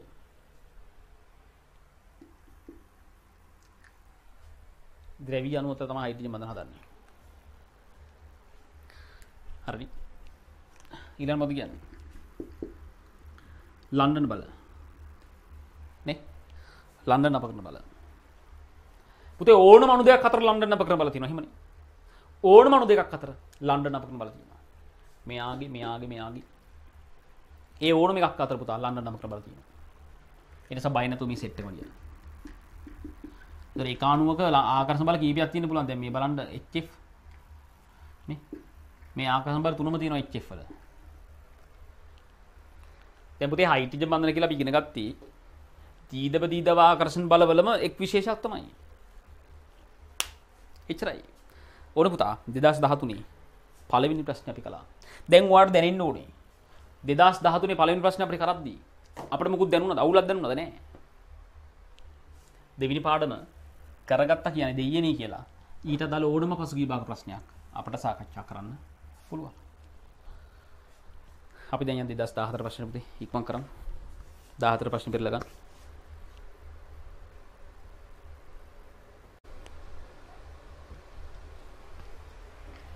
ළමයි දෙදස් දාහතරය ප්‍රශ්නෙත් දෙදස් දහතුනි වගේම තමයි අර විදියට ඒ කොටස තිය අර වගේම දැන් දෙදස් දහතුනි තිබුණ වැඩිවන පිට සකස් කරන්න කියලා. දෙදස් දාහත දින මේ ගුණාංග අඩුවට පිට සකස් කරන්න කියලා. දෙදස් දාහතරි ප්‍රශ්නි පලවිනි ප්‍රශ්නය කරන්න දන්නේ. ඒක මොකක්ද මෙන්න මෙයාලගේ පළමු අයිනි කරන ශක්තිය. Lithium sodium magnesium aluminium silicon දැන් අපි දන්නවා පුතේ සාමාන්‍ය ආවර්තයක් දිගේ දකුණු පැත්තට යද්දී පළමු අයින ශක්තිය මොකද වෙන්නේ කියන එකනේ අපි තුන්වෙනි ආවර්තයෙන් දොත් ඔය විදියට. මේ සෝඩියම් නම් මැග්නීසියම් ඇලුමිනියම් සිලිකන් ඔය විදිහට යන්නේ. දැන් මෙතන තියෙන මූල ද්‍රව්‍ය වලින් sodium magnesium aluminium silicon. Sodium magnesium aluminium silicon. එයාලගේ දීලා තියෙනවා. අපි දන්නවා මෙයාලගෙන් අඩුම සෝඩියම්. ඉන්න අයගෙන් අඩුම සෝඩියම්. මේ මේ පැතර වැඩි නේද? මෙයාට වඩා මෙයා උස ලොකුයි. ඇලිමිනිත්තට මෙයා ලොකුයි නේද මේ? මේ දෙන්නට වඩා උඩින් මෙයා ඉන්නේ. මේ තුන්දෙනාට වඩා මෙයා උසයි නේද? මේ තුන්දෙනාට වඩා මෙයා ගෑනික ශක්තිය වැඩි ඒතර ලිතියම් කොහොමද? අපි අපි දන්නවා ලිතියම් සෝඩියම් පොටෑසියම් ඔය විදිහට කාණ්ඩය දිගේ පහළට යද්දී අයනික ශක්තිය අඩු වෙනවා. උඩට යද්දී වැඩි වෙනවා. උඩට යද්දී වැඩි වෙනවා. අයනීකරණ ශක්තිය වැඩි වෙනවා උඩට යද්දී පුතා අයනීකරණ ශක්තිය වැඩි වෙනවා. කාරණා එතකොට සෝඩියන්ට වඩා ලිතියම් අයනික ශක්තිය වැඩි. සෝඩියන්ට වඩා ලිතියම් වල අයනික ශක්තිය වැඩි. ඒ නිසා මේ සෝඩියන්ට වඩා ලිතියම් වැඩි වෙන්න ඕනේ. මෙන්න මෙහෙම ඉන්න ඕනේ. සෝඩියන්ට වඩා ලිතියම් වැඩි. කන පැල්ද සාමාන්‍යයෙන් මතක තියාගන්න පුතා මේ S ගුණුවේ දෙන්න. S ගුණුවයිට වඩා P ගුණුවයි ගානික ශක්තිය වැඩි. S ගුණුවට වඩා P ගුණුව වැඩි. තේරෙනවද? ඔන්න ඔය විදිහට තමයි ඉන්නේ. මෙන්න මේ විදිහට තමයි ඉන්නේ. මං හිතනවා පුතා ඔයා මේ විදිහට අනිවාර්යයෙන් මේ ප්‍රශ්න කරලා ඇත්තේ කියලා. මම ඒකයි මේ වේගින් සාකච්ඡා කරන්න යන්නේ. පළමු ඉලෙක්ට්‍රෝන බන්ධුතාවය. අපි දන්නවා පුතේ ආවර්ත වගුවෙන්ම ඉලෙක්ට්‍රෝන බන්ධුතාවය වැඩි ක්ලෝරින් මුළු ආවර්ත වගුවෙන්ම ඉලෙක්ට්‍රෝන බන්ධුතාවය වැඩි ක්ලෝරින් මෙයා. ඊට පස්සේ තව තුන් දෙනෙක් ඉන්නවා කවුද? Carbon oxygen fluorine carbon oxygen fluorine මේකම ආවර්තය තුන් දෙනෙක්. ඕනම ආවර්තයක. ඕනම ආවර්තයක. ඉලෙක්ට්‍රෝන බන්ධුතාවය වැඩිම කවුද? පුතේ ඕනම ආවර්තයක. ඉලෙක්ට්‍රෝන බන්ධුතාවය වැඩිම 17 කාණ්ඩයේ කෙනාගේ. ඕනම ආවර්තයක ඉලෙක්ට්‍රෝන බන්ධුතාවය වැඩිම 17 කාණ්ඩයේ කෙනෙක්ගේ. එතකොට මේ ආවර්තය නම් පුතා මෙන්න මෙයා. එයාගේ වැඩි. ඊට වඩා මෙයාගේ අඩුයි. ඊටත් වඩා ඔක්සිජන් කාබන්ගේ අඩුයි. මෙයාට වඩා ඔක්සිජන් වැඩි ඔක්සිජන්ට වඩා ෆ්ලෝරින් 17 කාණ්ඩේ. සාමාන්‍ය 17 කාණ්ඩෙන් පස්සේ ඊළඟට ඉන්නේ 16 කාණ්ඩේ. ඉලෙක්ට්‍රෝන බන්ධුතාවය වැඩිම කට්ටිය ඉන්නේ 17 කාණ්ඩේ. ඊට පස්සේ ඉන්නේ 16 කාණ්ඩේ. 10 17 ඊට පස්සේ 16. ඊට පස්සේ තමයි කාබන්. මේ හැමෝටම වඩා මුළු ආවර්තය වගුවෙන්න ක්ලෝරින් තමයි ඩයල් එක. එයා තමයි ඉලෙක්ට්‍රෝන බන්ධුතාවය වැඩිම. පැහැදිලිද?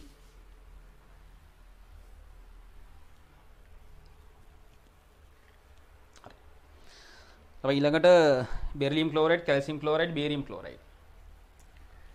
ඊළඟ ද්‍රවාංකය. දැන් පුතේ සාමාන්‍යයෙන් අයනික සංයෝගයක ද්‍රවාංකය සඳහා. සමහර තැන්වලදී බලපාන ප්‍රධානම සාධකය අයනික ලක්ෂණ. සමහර තැන්වල දැලි ශක්තිය. දැන් පුතේ මෙතන නම් අපිට ද්‍රවාංකය සඳහා බලපාන සාධක ඉදිරි ගන්න වෙන්නේ අයනික ලක්ෂණ. කාණ්ඩය පහලට යන්නේ කැටායනය ලොකු වෙනවා නේ? කැටයින් ලොකු වෙනවා. කැටයින් ලොකු වෙද්දී අපෙන් අහන්නේ මොකද්ද? අයනි ලක්ෂණ වල මොකද වෙන්නේ කියලා. මේ බලන්න. සොරි ද්‍රවාංකයට මොකද වෙන්නේ කියලා. දැන් පුතේ මෙතන ද්‍රවාංකයේ වැඩිම මම ගන්න බේරියම් ක්ලෝරයිඩ්. ඊළඟට කැල්සියම් ක්ලෝරයිඩ්. ඊළඟට බෙරිලියම් ක්ලෝරයිඩ්. ඇයි එහෙම ගන්න?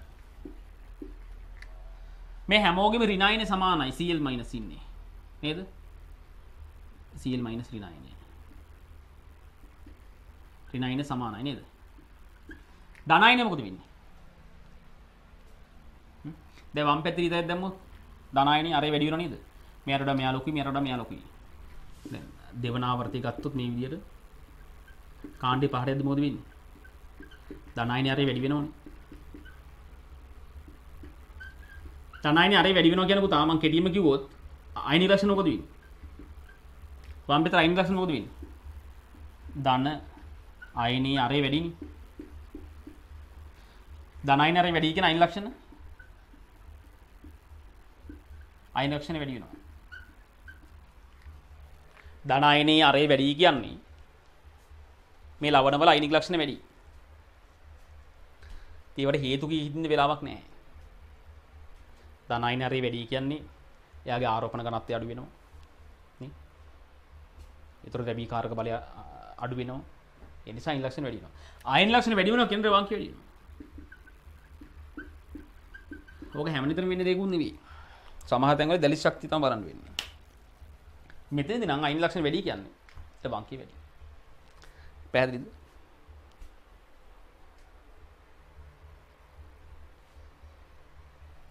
පුතේ ඊළඟට අහන්නේ බන්ධන කෝණය. මේක MCQ ප්‍රශ්නයක් නේද? මේක MCQ ප්‍රශ්නයක්. දැන් අපිට අනුත්‍රිකක් දීලා තිනවා NCLT කා සිලිකන් වල CL4 ICL4 මයිනස් මේ දැන් අනුව ඇඳලා බලනට වඩා මං කියවනට බුද්ධිමත් දරු විශේෂයක් ඉන්නවා කියලා. එයාලා මේක තාර්කිකව නිකන් මනසින් ගන්නවා දැන් මෙතන මධ්‍ය පරමාණු නයිට්‍රජන් 15 වෙනි කාණ්ඩේ. මෙතන 14 කාණ්ඩේ සිලිකන්. මෙතන අයිඩින් උ 17 කාණ්ඩේ. මු හැමෝම තනි බන්ධන ගහන්නේ මෙතන ක්ලෝරින් තනි බන්ධන මේ ක්ලෝරින් එක තනි බන්ධන ගහන්නේ. දැන් පුතන් මොකද අහන්නේ බන්ධන කෝණේ නේද? සාමාන්‍ය පුතා බන්ධන කෝණේ වැඩිම එකෙක් නම් ඌ රේකී වෙන්න ඕනේ. රේකී එකකට බන්ධන කෝණේ වැඩිම 180. මෙතන රේකී අය නැහැ. රේකී කියන්නේ අග්‍රස පරමාණු දෙකක් ඉන්නවා. අග්‍රස පරමාණු තුනක් ඉන්නෝනේ. මෙතන හතරක් ඉන්නවා මෙතන හතරක් ඉන්නවා. පේ කියව නැහැ. ඒ නිසා මෙතන බයක් නැහැ. සාමාන්‍ය පුතේ වලම උගන්ලා තිනවා රේකී නැති අවස්ථාවක් ගැන කතා කරද්දී බන්ධන කෝණය සඳ බලපන්න ප්‍රධානම පළවෙනි කාරණා මොකද විස්ප. විස්ප බලන්න කියලා නේද? විස්ප සමාන නම් එකසර බලන්න කිව්වා. එකසර බලන්න කිව්වා. එකසර සමාන නම් විද්‍යුත්තාවය බලන්න කිව්වා මධ්‍ය පරමාණු. විද්‍යුත් ත්‍රිතාවය බලන්න කිව්වා. දැන් මුදා මෙතන විස්ප බලන්න ඕන මම මුලින්ම සාමාන්‍ය පුතා මම අණුව අදින්න නැතුව මම මෙහෙම තීරණයක් කරනවා. දැන් මට කියන්නකෝ විස්ප වැඩි නම් මොකද වෙන්නේ? විස්ප වැඩි නම් කෝණය අඩු වෙනවනේ. විස්ප වැඩි වෙද්දි බන්ධන කෝණය අඩු වෙනවා. මට හිතෙනවා පුතා මෙතන විස්ප වැඩි කියලා. ඇයි මං එහෙම හිතන්නේ? දැන් මං කියවන්නට සමහර බුද්ධිමත් දරුවන්ට එහෙම හිතනවා. අනු අදින්න ඕන මං ඇදලා එන්නන්න. මෙතන දා හැමෝම ඉන්නේ තනි බන්ධන ගහන්නේ. නයිට්‍රජන් කියන 15 වන කාණ්ඩේ. සිලිකන් 14 කාණ්ඩේ. අයඩින් 17 කාණ්ඩේ. 17 කාණ්ඩේ කියන්නේ මුගේ සංයුතා කවච ඉලෙක්ට්‍රෝන 7යි කියන්නේ ගොඩක් ඉන්නවා. මේ අයඩින් වල සංයුතා කවච ඉලෙක්ට්‍රෝන වැඩි. ඒ කියන්නේ විස්ප වැඩි. විස්ප වැඩි. විස්ප වැඩි කියන්නේ කෝණේ අඩුයි. එන පුතා ICL4- තමයි කෝණේ අඩුයි. මේ දෙනගේ. මෙතන අපුතා වෙස්ප සමානයි හොඳේ. දැන් වෙස්ප බලන්න ලියුවොත් මේ වගේ සංසන්දනය කරන්න පුතා ආසන වශයෙන් මෙතන 14 කාණ්ඩේ මෙතන 15 කාණ්ඩේ ලොකු වෙනසක් නැහැ නේ. දැන් NCLT ඇන්දොත් මෙහෙමනේ. මේ CCl4 වැන්දොත් මෙහෙමනේ CiCl4 මෙතන සීල මෙතන. මේ වටේ දැන් මෙතනත් වෙස්ප හතරක් ඉන්නවා. 1 2 3 4යි මෙතනත් හතරක් ඉන්නවා.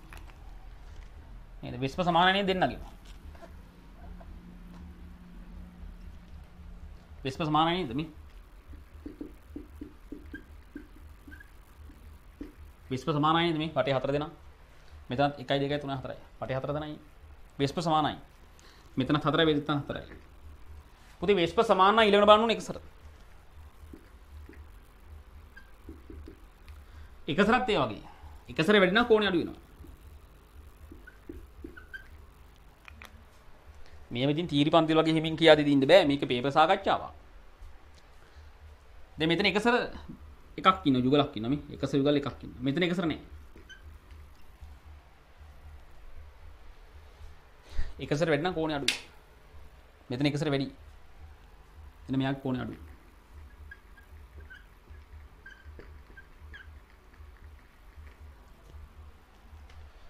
එකසර වැඩි නම් කෝණය අඩුයි. මෙයාට මෙයාගේ එකසර වැඩි. වැඩි නිසා කෝණය අඩු වුණා මේ එච්චරයි. ඊට පස්සේ මොකද කියන්නේ?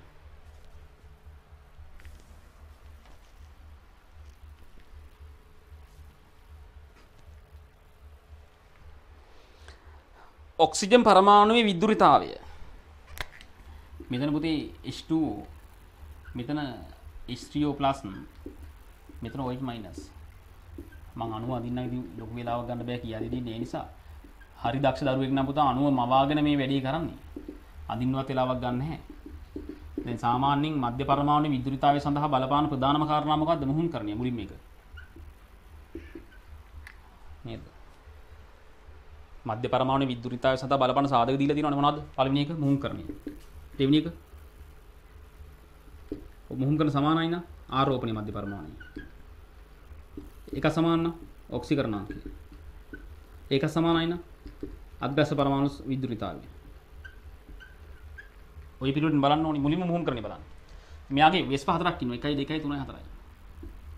SP3 නේද? වෙස් පහතරයි නම් SP3 නේද?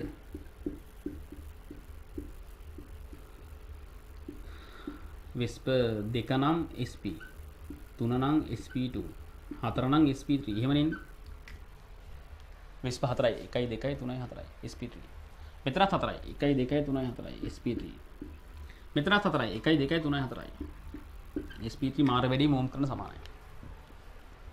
හරි වැඩි පුති මුහම් කළ සමානයි. මානසීනික නේද? මුහම් කළ සමානයි. මුහම් කර සමාන ඉළඟ බලන්න ආරෝපන ආරෝපන දැමුත මෙතන ආරෝපන නෑනේ මෙයාමත ආරෝපන නෑ බිඳුවයි මෙයාමත් අය එකක් ඉන්නවා මෙයාමත ඍණ එකක් ඉන්නවා දැන් මොකද වෙන්නේ දැන් මොකද වෙන්නේ?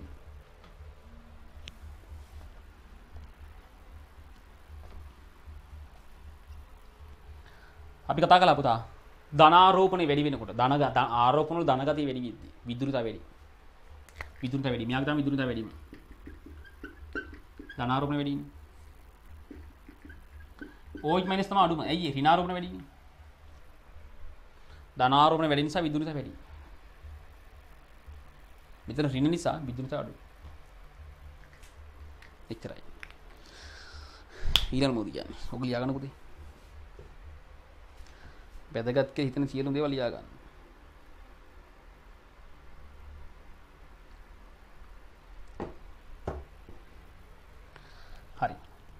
Hawin pa sa manong kahit man ka.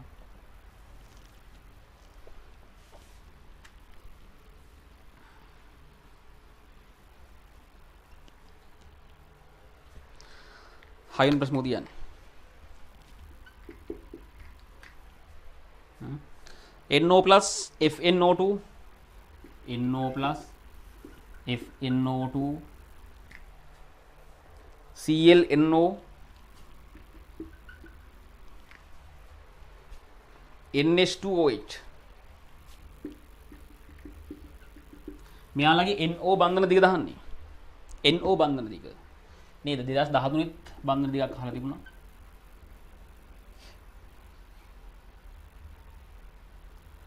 NO+ මෙන්න මෙහෙම ඉන්නේ.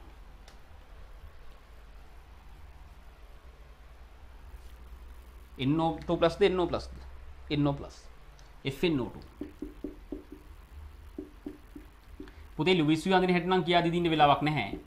මම ටක් ගාලා දිරිබිලි ගාලා අනුට යන ගන්නවා.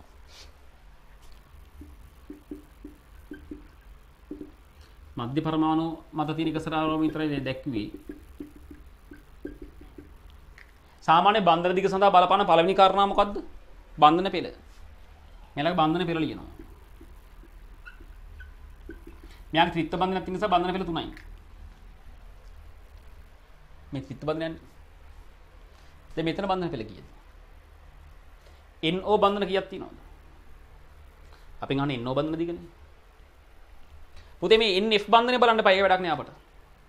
අපට අවශ්‍ය වෙන්නේ NO බන්ධනය NO බන්ධන මෙතනත් එකක් ඉන්නවා මෙතනත් දෙකක් ඉන්නවා. තුනක් ඉන්නවා. 1යි 2යි 3යි බන්ධන තුනයි. ඔය බන්ධන තුන බෙදන්න ස්ථාන දෙකින් මේ තැන් දෙකකනේ NO බන්ධන ඉන්නේ. තැන් දෙකකින් දෙකින් බෙදන්න. තුන බෙදන්න දෙකින්.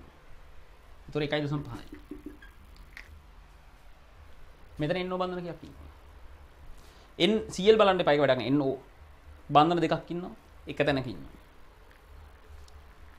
බන්ධන දෙකක් තියෙන එක තැනක. එකෙන් බෙදෙන්නේ? එන්න දෙකයි. දෙක එකෙන් බෙදුවම දෙකයි. මෙතන පුතා NO එක තනි බන්ධනයක් ඉන්නේ කොහෙවත් යන්නේ නැහැ නේද මේව වැඩක් නෑ අපට මේ තනි බන්ධනයක් ඉන්නවා ඒකයි බන්ධන පෙළ වැඩි වෙනවා කියන්නේ දිග අඩු වෙනවක මතක තියාගන්න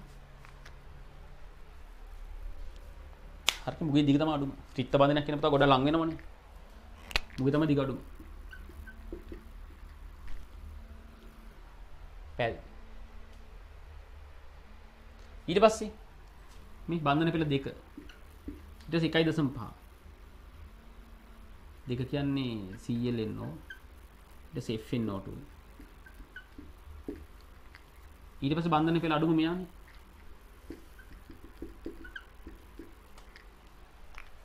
මෙයා තමයි බන්ධන පෙළ අඩු. ඒ කියන්නේ දිග වැඩි.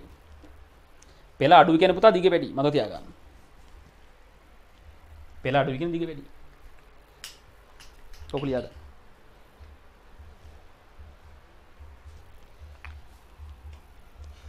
මේ විතර ලියන්නකො නැත්තම්. බන්ධන පෙළ වැඩි වෙනවා දකුණු පැත්තට දිග අඩු වෙනවා. සෝරි. එච්චරයිනේ. ඒකට ඉවරයිනේ. ඒකට චිවරය පුතා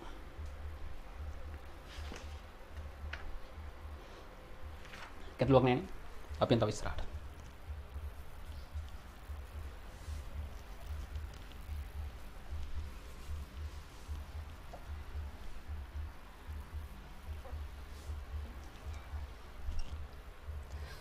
දෙක මොකද කියන්නේ පුතා රෝම සෝරි B කොටස මොකද කියන්නේ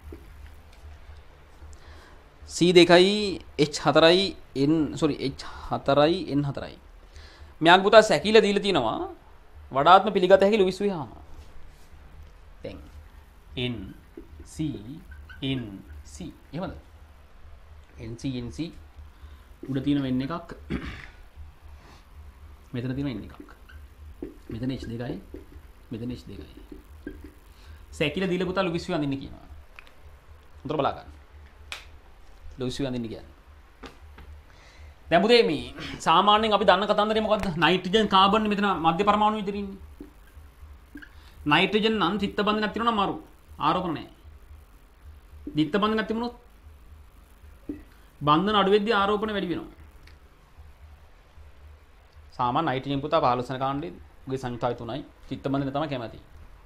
ඊළඟ බන්ධන අඩු වෙනවා ඍණ වෙනවා. මෙතන ඍණ එකක් වුණා මෙතන ඍණ දෙකක් එනවා නේද? බන්ධන අඩු වෙද්දී ඍණාගතිය වැඩි වෙනවා. බන්ධන වැඩි වෙද්දී මොකද වෙන්නේ? එතන බන්ධන හතරයි. ධන වෙනවා. තුනට වඩා වැඩි නම් ධන අඩු නම් ඍණ. දැන් සාමාන්‍ය පුතේ නයිට්‍රජන් කැමති බන්ධන තුනක් ගන්න. මේක මතක තියාගන්න. ඒතර ආරෝපණ නැහැ. ඒ නිසා මේ නයිට්‍රජන් මම ගන්න තිත්ත බන්ධනයක්. ඔයා උලක් නැහැ නේද? ඒතර මෙයාගේ සංයුතාව තුන හරිනේ. කාබන්ටත් සතුරු ඊයාගේ බන්ධන හතරත් හරිමි. කාබන් 14 කණ්ඩේ බන්ධන හතරකට කැමතිමි වම් පැත්තෙන් තුනයි දකුණු පැත්තෙන් එකයි. උගේ හතරත් හරි. දැන් මෙයාගේ බන්ධන තුනක් ගහන්න බෑ. හොඳම දේ තුනක් ගහන්න පුළුවන් නම් එච්චරයි. ගහන්න බැරි නම් අවුලකුත් නැහැ. තුනක් ගහන්න පුළුවන් හොඳයි. දැන් බලන්න. මෙයාගේ බන්ධන තුනක් කරන්න දැනට දෙකක් ඉන්නවනේ. දෙපැත්තේ. මෙතන එකක් ගියොත් මොකද වෙන්නේ? මෙයාගේ බන්ධන තුන හරි මේ. හැබැයි පොඩි අවුලක් වෙනවා මොකද්ද? මෙයාගේ අටපයින්නවා මේ. පුතා කාබන් කියන දෙවනාවර්ති කෙනෙක්. බන්ධන හතරට වඩා ගන්න බෑ යා. දැන් පහක් ඉන්නවා. 1 2 3 4 5. ඒ නිසා එකක් මකන. එහෙම ගන්න බෑ. ඒ නිසා මෙතනින් ගන්න තිත්ත බන්ධන. දැන් මොකද වෙන්නේ? මෙයාගේ බන්ධන තුනක් හරි මේ 1 2 3. මෙයාටත් බන්ධන හතරක් හරි. දැන් සතුටුයි. මෙතන නයිට්‍රජන් බන්ධන තුනක් ඉන්නවා. මෙතන තුනක් ඉන්නවා. දැන් හරිම සතුටුයි. ඉලෙක්ට්‍රෝන ප්‍රෝටෝන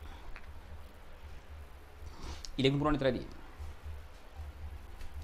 පුතේ නයිට්‍රජන් කියන 15 වන කාණ්ඩය කෙනෙක්.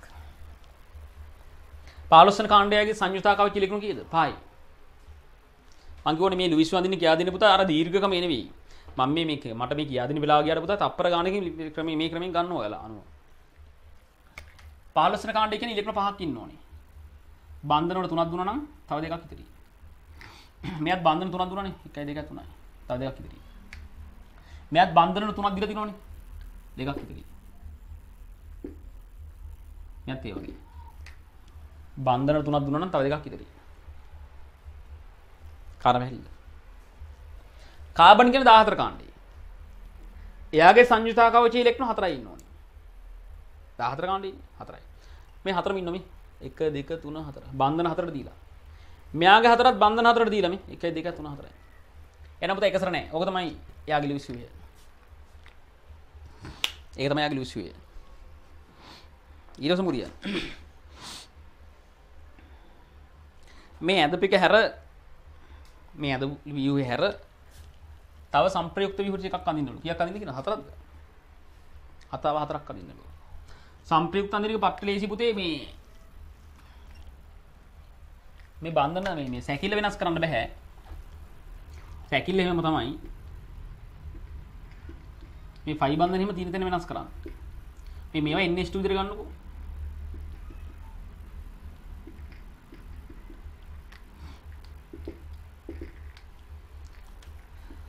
දැන් බලන්න මං කරන වැඩි. දැන් ඔයාලට පුතා පුළුවන් නම් මේ ෆයි බන්ධනය මේ කාබන් එක තියෙන ෆයි බන්ධනය මේ වටේ යවන්න පුළුවන් මෙන්න මේ. මේ ෆයි බන්ධනය කාලේ මෙතන ගහන්න පුළුවන්. ඇයි? මේ නයිට්‍රජන් මත එක සරගලක් ඉන්න ඕනේ. මේ ෆයි බන්ධනය මේ මේ ෆයි මේ ෆයි බන්ධනය කඩලා මෙතනින් ගහන්න පුළුවන්. මෙයා මත එක සරක් ඉන්න ඕනේ. පුතේ ෆයි බන්ධනය කඩලා වෙන කෙනෙක් එක්ක ෆයි ඒ ෆයි බන්ධනය හදන්න නම් එයා මත එක සර ඉන්න ඕනේ. ද මේක කඩලා මෙත් එක්ක බන්ධනය ගහන්න නම් මෙයාමත් එකසර තිබුණ නිසා ගහන්න පුළුවන් නැත්තම් බෑ මෙතන ෆයි බන්ධනය ගහන්න පුළුවන් මෙයාමත් එකසර තියෙන නිසා මෙයාට එකසර තියෙන්න ඕනේ පුතා මේ මෙයාත් එක්ක තියෙන ෆයි බන්ධනයනේ මෙතන ගහන්නේ ඒතර අල්ලපු කෙනාමත් තමයි එකසර ඉන්නවා ඒ ඉන්නවනේ කෙනෙක් නේ මෙතනත් ගහන්න පුළුවන් මෙතනත් ගහන්න පුළුවන්. තේරෙනවද? එහෙම ගහන්න පුළුවන්. අවශ්‍ය නම් ගහන්න පුළුවන්. මේ බලන්න මම කරන වැඩි. මේ පැතර මම මුකුත් කරන්නේ ඒව එහෙමම තියෙද්දි මේ ෆයි බඳනේ ගලවන්න. ගලවලා ඉලෙක්ට්‍රෝන දෙන්න මෙයාට. මෙයාට දෙන්න.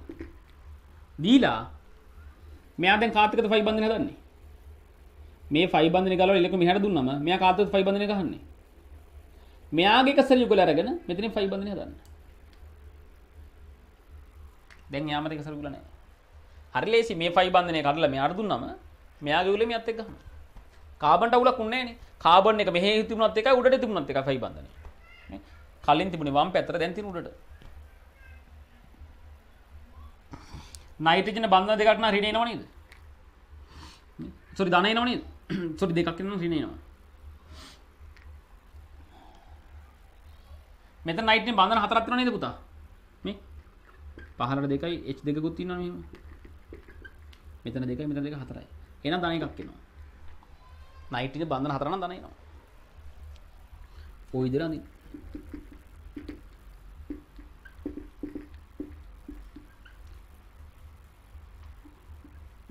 දැන් උඩ නැතුව මෙහෙම අඳන්න පුළුව කොහොම අඳන්න පුළුව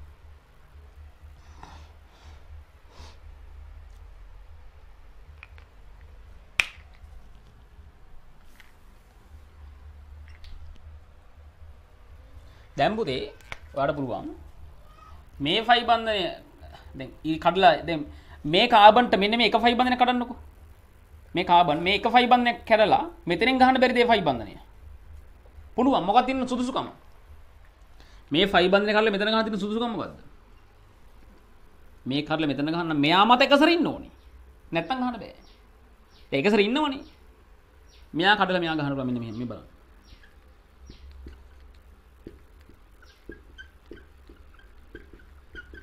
මම මේ පැත්ත මුකුත් කරන්නේ මේ පැත්ත හුම තියා ගන්නවා. මම කරන්නේ මේ ෆයි බන්ධනය කඩනවා. කැඩුම දිත්ත බන්ධනක් තියෙන්නේ. පුතා මේ ෆයි බන්ධනය කැඩුවම ඉලෙක්ට්‍රෝන දෙන්න ඕනේ එළියෙක් කරන්න මෙන්න මෙයාට. මේක කඩලා ඉලෙක්ට්‍රෝන දෙන්න ඕනේ එළියෙක කරන්න මෙන්න මෙයාට. ඒතකොට තමයි මෙයාගේ යුගල අරගෙන මෙතන ෆයි බන්ධනය හදන්න පුළුවන්. මේක කඩලා එළියෙක කරන්න ඉලෙක්ට්‍රෝන දුන්නා. මේ ඉලෙක්ට්‍රෝන වලින් මෙතන ෆයි බන්ධනය හැදුවා දැන් යුගල් එකයි ඉන්නේ. පැල්. මේ ඉලෙක්ට්‍රෝන මෙතන දුන්නානේ. දැන් එක යුගලයි. ඉන්නේ දැන් අපි දන්නවා පුතා නයිට්‍රජන්ට බන්ධන දෙකක් ඉන්නවා නම් අනිවාර්යයෙන්ම ඍණාරෝපණයක් වෙනවා නයිට්‍රජන් බන්ධන තුනක් ඉන්නවා නම් මේ 1 2 3යි ආරෝපණයනේ නැහැ.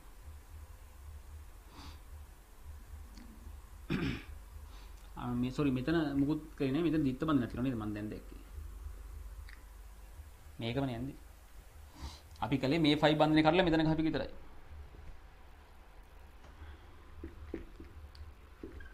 ඔයාට තීරි මෙලෝදියක් මතක නැත්තම් පුතා මේව තේරෙන්නේ නැහැ. ඒක මගේ අවුලක් නෙවෙයි ඔයාගේ අවුලක්. දැන් මම බේබ එකක් සාකච්ඡා කරන්න පුතා තීරි දන්න දරුවෙක්ට. ඔයා තීරි දන්නේ නැත්නම් මේව තේරෙන්නේ නැති වෙයි. ඒක මට මොහොත් කියන්න එපා. ඒක ඔයාගේ උමනාවක් නැතිකම දැන් ඔයාට ඕන පුතා මේ ෆයි බන්ධනය නැවත කඩන්න පුළුවන්. ඕන මේ ෆයි බන්ධනය කරලා ඉලෙක්ට්‍රෝන මෙතන දීලා මෙතන තව එක සැර ඉන්න ඕනේ. ඒකෙන් මෙතන ගහන්න පුළුවන්. ඒ ඕන විදිහට ගහන්න පුළුවන්. මේ මේ විදිහට මේ N C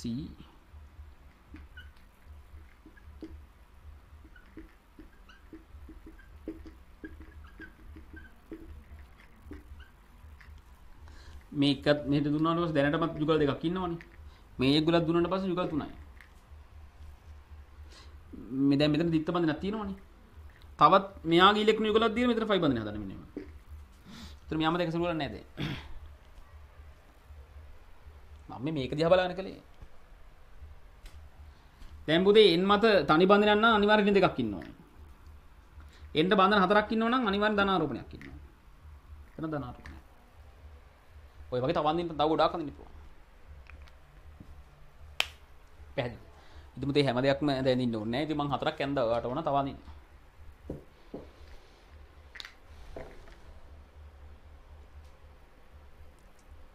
පුතේ ඔය අනිත් එක රෝමිලාක තුන නම් පුතා ඉතින් ඔයාලට කරගන්න පුළුවන් මේලගේ මුහුම් කරන අරමුණු කතන්දර බලන එක. පැහැදිලිද? ඒ දේවල් කර කර කාලේ කන්න ඕනේ නැහැ මම. මං ඕන රෝමිලක හතර කරන්න. රෝමිලක හතර කරන්න. ඉතින් මේලගේ මුහුම් කරන බලන හැටි තවත් මේ බොරුවට බොළඳ දේවල් කතා කරන්න ඕනේ නෑනේ. නේද? පේත එකක් සාකච්ඡා කරලා දුන්නත් අත්‍යවශ්‍යම දේ විතර සාකච්ඡා කරන තමයි හොඳම දේ. මෙතනින් තීරීම අල්ලගන්න බලාපොරොත්තු වෙන්න එපා. දැන් මොකද මම රෝමිලක හතරට යනවා කෙලින්ම. හතරම මොකද කියන්නේ? මේ අණුවේ හැඩයට අඳින්නලු හැඩය මේ බන්ධන කෝණ දක්වමින් අඳින්න කියලා කියන්නේ. ලුවිසුවේ හැඩය දල වශයෙන් අඳින්නලු මේ බන්ධන කෝණ දක්වමින්. දැන් පුතා මේ මෙහෙමනේ ආවේ ඔක. ඉස්තාමිලුස්සේ මෙහෙම නේද ආවේ?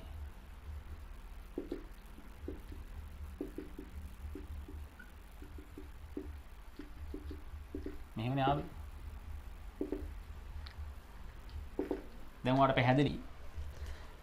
උදේ දැන් මෙයා වටා දැන් ඔයා කැමති තැනකින් පටන් ගන්න. එහෙම ගැටලුවක් නැහැ. ඔයා කැමති තැනකින් පටන් ගන්න. දැන් මම මෙයාවට පටන් ගත්තොත් මෙයාවට තලිය ත්‍රිකෝණාකාරයි නේද පුතා මෙයා වටා හැඩය මේ. 1 2 3 දෙනෙක් ඉන්නවනේ. තලිය ත්‍රිකෝණාකාරය කොහොම ගහගන්න. මෙතන NH2 කාණ්ඩ ඉන්නවා. මෙතනත් NH2 කාණ්ඩ ඉන්නවා. මේ පැත්තෙන් අර දිත්ත බන්ධනයක් එක්ක නයිට්‍රජන් ඉන්නවා. කොහෙන් හරි දැනගෙන පටන් ගන්න එපේ. නේද?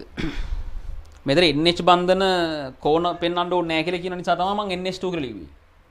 කියලා තියෙනවනේ ඒක. දැන් පුතේ මේ නයිට්‍රජන් වටා කෝණය කෝණිකයි නේද මෙතන හැඩය? සිග්ම දෙකයි එකසර ඉවරයි කෝනිකයි සිග්ම දෙකයි එකසර ඉවරයි කෝනිකයි එයා කෝනිකයි නම් මෙහෙම ආවනම් අනිත් එක මෙහෙට යන්න ඕනේ. 120 මෙහෙම ඉන්න ඕනේ මේ කෝනිකයි නේ මෙතන කෝණි.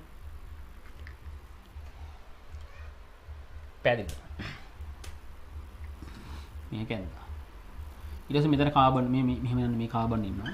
එයාට ත්‍රිත්ව බන්ධනයක් එක්ක අනිත් නයිට්‍රජන් සිට් කරනවා කොහොමද ඉන්නේ? මෙයා රේ කියමි සිග්ම දෙකක් නේ මෙතන රේ කියයි මෙතන 180ක් කෝණයක් තියෙනවා. රේකී කියන 180 නේ මෙතන කෝණික නම් මොකද්ද? මෙතන ආසන්න කෝණ දක්වන්න කියන පුතා. ඔයා තනි කෝණයක් ලියන්න ඉතින් ඒක ආසන්නගයක් නම් ලකුණු දෙන්න. දැන් කෝණේ බලද්දි පුතා මෙයා වටා වෙස්ප තුනක් ඉන්නවා. 1 2 3යි 1 2 3යි ඒකනේ ඉලෙක්ට්‍රෝන ගාජාමතිය මොකද්ද? ඉලෙක්ට්‍රෝන ගාජාමතිය චතුත් මේ තලී ත්‍රිකෝණාකාරනේ නේ? 1 2 3යි වෙස්ප තුනයි කියන්නේ තලී ත්‍රිකෝණාකාර නේද? තලී ත්‍රිකෝණාකාර දැන් පුතා තලිය ත්‍රිකෝණාකාර කියන්නේ ආසන වශයෙන් බන්ධන කෝණය කියන්නේ තලිය ත්‍රිකෝණාකාර කියන්නේ 120 නේ. තලිය ත්‍රිකෝණාකාර කියන්නේ 120. එහෙනම් පුතා සාමාන්‍යයෙන් මෙතන 120ම වෙන්න බෑනේ. මොකද මේව බන්ධනවල මේව එකසරනේ. මේ එකසර මගින් මෙහෙම තල්ලු කරන නිසා මේ තල්ලු කරන නිසා මෙයාගේ කෝණය 120ට අඩු වෙනවා. මෙහෙන් තල්ලු කරන නිසා කෝණය 120ට අඩු වෙනවා. 120ට අඩු කෝණයක් ලියන්න. 118 ලියන්නකෝ. ඔය එකසි දහනාව ඔයගේ ලියන්න මේක ලකුණු හම්බේ දැන් සාමාන්‍යයෙන් ඔයාලගේ පේපරේ බලලා දා දාලා තියෙ 120ට වඩා අඩු කෝණයක් ලොහම ඔයා එහෙමයි කියලා ඔයාගේ පිළිතුරු පත්‍රෙ මෙහෙම කන්- මේව දාන්න යන්න එපා මේක කියන්නේ පේපර් මාකින් එක. මේ පේපර් උත්තර දෙන කෙනාට 120ට අඩු ඒවට ලකුණු දෙන්න කියලා කියන්නේ. ඔයා අඩු වගේක් ලියන්න. මෙහෙම කැලි දාන්න එපා ඔයා. මෙතනත් ඉතින් 120ට ආසන්න ගැන තියෙන පුතා. මෙතනත් 120 අපි 120 ලියමු. ඉතින් ඒවා ආසන්නයිනේ. නේද? ඒවට ලකුණු හම්බෙයි.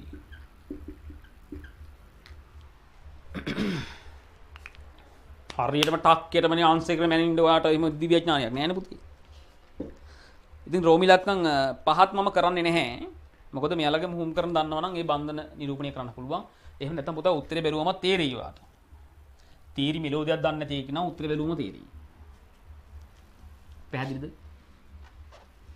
අර පේප සාකච්ඡාවක් නිසා ඒ සාකච්ඡාවේ ගුණාත්මක භාවය රැක ගන්න ඕන නිසා සරල 2.50 හින්නිකිතර ඒවා සාකච්ඡා කර කර කාලේ කන්න බෑ. හරි පුතේ. දැන් ඔයා බලන්න C කොටස. මෙතන C එක තමයි වැදගත් කොටසක් තියෙන්නේ. මේ ප්‍රශ්නේ අවසාන කොටස C කොටස. CH3 Cl ඉන්නවා පුතේ. CH3 I ඉන්නවා. මෙයාගේ තාපාංකය දීලා තියෙනවා 249 කෙල්වින්. මෙයාගේ තාපාංගය දීලා තියෙනවා 316 කෙල්වින්. මෙයාට වඩා මෙයාගේ තාපාංගය වැඩි. ඇයි පුතා තාපාංගය වැඩි? තාපාංගය සඳහා බලපන්න මොනවද? ආකර්ෂණ බල. තාපාංගය වැඩි කියන්නේ ආකර්ෂණ වැඩි. ආකර්ෂණ බල වැඩි නිසා තාපාංගය වැඩි. මොනවද මේලා තියෙන ආකර්ෂණ බල? මේ- මේ ඕනම අණු අතර ලන්ඩන් අපකරන බල තියෙනවනේ. ලන්ඩන් අපකරන බල තියෙනවා. ඕනම අණු දෙයක් අතර ලන්ඩන් අපකරන බල තියෙනවනේ පුතා. ඒ වගේම දීදව දීදව වගේ බල තියෙනවා. මෙයා ද්‍රව්‍යයි නෙමෙයි. කාබන් වටා හයිඩ්‍රජන් තුනකී ක්ලෝරින් එකකුයි. අග්‍රස්ත පරමාණු අසමානයි. ද්‍රව්‍යයි. මේ කාබන් වටා ඉන්න අග්‍රස්ත පරමාණු අසමානයි. හයිඩ්‍රජන් අයිඩින් අසමානයි. ද්‍රව්‍යයි. මේ ද්‍රව්‍ය අණු. ඒ නිසා දීදව දීදව වගේ බලක් තියෙනවා. නේද? ද්‍රව්‍ය අණු අතර තියෙනවා පුතා දීදව දීදව වගේ බල තියෙනවා. කාර පැහැදිලිද? හොඳයි. එතකොට දැන් මම ඔයාගේ නිකමට අහන්නද කාගේද දීදව දීදව වගේ බල වැඩි? වැඩියෙන් ද්‍රව්‍ය කෙනාගේ. වැඩියෙන් ද්‍රව්‍ය කෙනාගේ තමයි දීදව දීදව ආකර්ෂණ බල වැඩි. ලන්ඩන් අපකරන බල වැඩි කාගේද? අණුව විශාල නම් ලන්ඩන් අපකරන බල වැඩි. අණුව ලොකුයි නම් ලන්ඩන් අපකරන බල වැඩි. දැන් මට කියන ලන්ඩන් අපකරන බල වැඩි කවුද? අණුව ලොකු එක්කනා. මෙයානේ අණුව ලොකු. මේ ක්ලෝරින්ට වඩා අයිඩින් ලොකුයිනේ. C3I වල වැඩි. දීදව දීදව වක්ෂණ බල වැඩි කාගේද? වැඩිම ද්‍රව්‍ය කවුද? මෙයා නේද? එවන් මේ අයිඩන්ට වඩා කලෝරින් වල විදුලිතා වැඩි කලෝරින් වල විදුලිතා වැඩි කියන්නේ මේ දෙන්න අතර තියෙන වෙනස වැඩි මේ බන්ධන ද්‍රවීතා වැඩි සීති සිත් වල තමයි වැඩිම අපෙන් අහන මුලින්ම පුතේ වඩා විශාල දීදව දිගූර්ණයක් ඇත්තේ කාගේද වඩා විශාල දීදව ගුණයක් තියෙන මෙයාගේ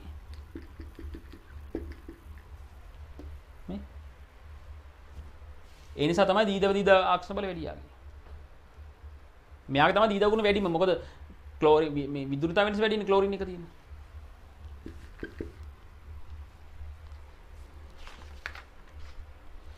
වඩා ප්‍රබල ලන්ඩන් අපකර බල තියෙන කාටද? ලොකුම අණුව මෙයා. මේ ලන්ඩන් අපකර බල වැඩි මෙයා. CH3I.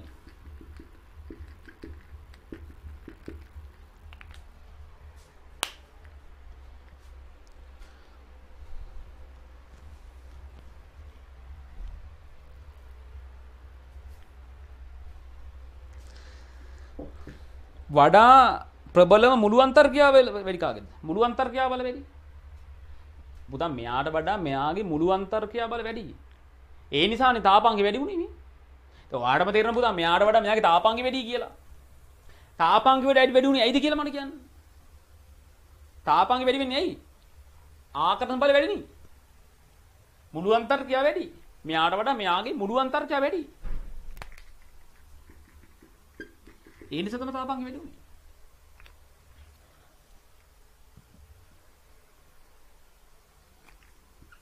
අපෙන් අහනවා ඊළඟට මෙම ද්‍රව්‍ය දෙක සැසඳීමේදී වඩාත් ප්‍රමුඛ අන්තර් අනුකාක්ෂණ වර්ගය මොකක්ද?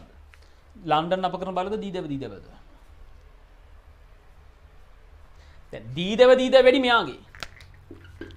දීදව දීදව වැඩි. මෙයාගේ ලන්ඩන් බල වැඩි. කවුද දෙන ප්‍රමුඛ පුතේ මෙයාගෙන තාපාංකය වැඩි වුණේ. තාපාංකය වැඩි වුණේ හේතුව මොකද්ද? මුළු ආකාර සම්බල වැඩි. ඒකේ තේරුම මොකද්ද? මෙයාගේ දීදව දීදව විශාල වුණාට වැඩක් නැහැ. මෙතනදී ප්‍රමුඛම සාධක වෙලා තියෙන පුතා ලන්ඩන් අපකරන බල. ලන්ඩන් අපකරන බල වෙන්නේ මෙයාගේ. එන පුතා දීදව දීදව නෙමෙයි මෙතන ප්‍රමුඛම විදිහට බලලා තියෙන ලන්ඩන් අපකරන බල. ප්‍රමුඛම සාධකය. දැන් උදාහරණ මෙහෙම ගන්නකො. අවුරුදු කුමාරී තේරීම තරඟයක් තියෙනවා. අවුරුදු කුමාරී තේරී තරඟේ ඒ එන කාන්තා ඒ ළමයිගේ සුන්දරත්වයමයි නිර්ණායක දෙකක් තියෙනවා කියලා කියමුකෝ. එකක් තමයි නියපොතු වල දිග. අනිත් එක තමයි කොණ්ඩෙ දිග.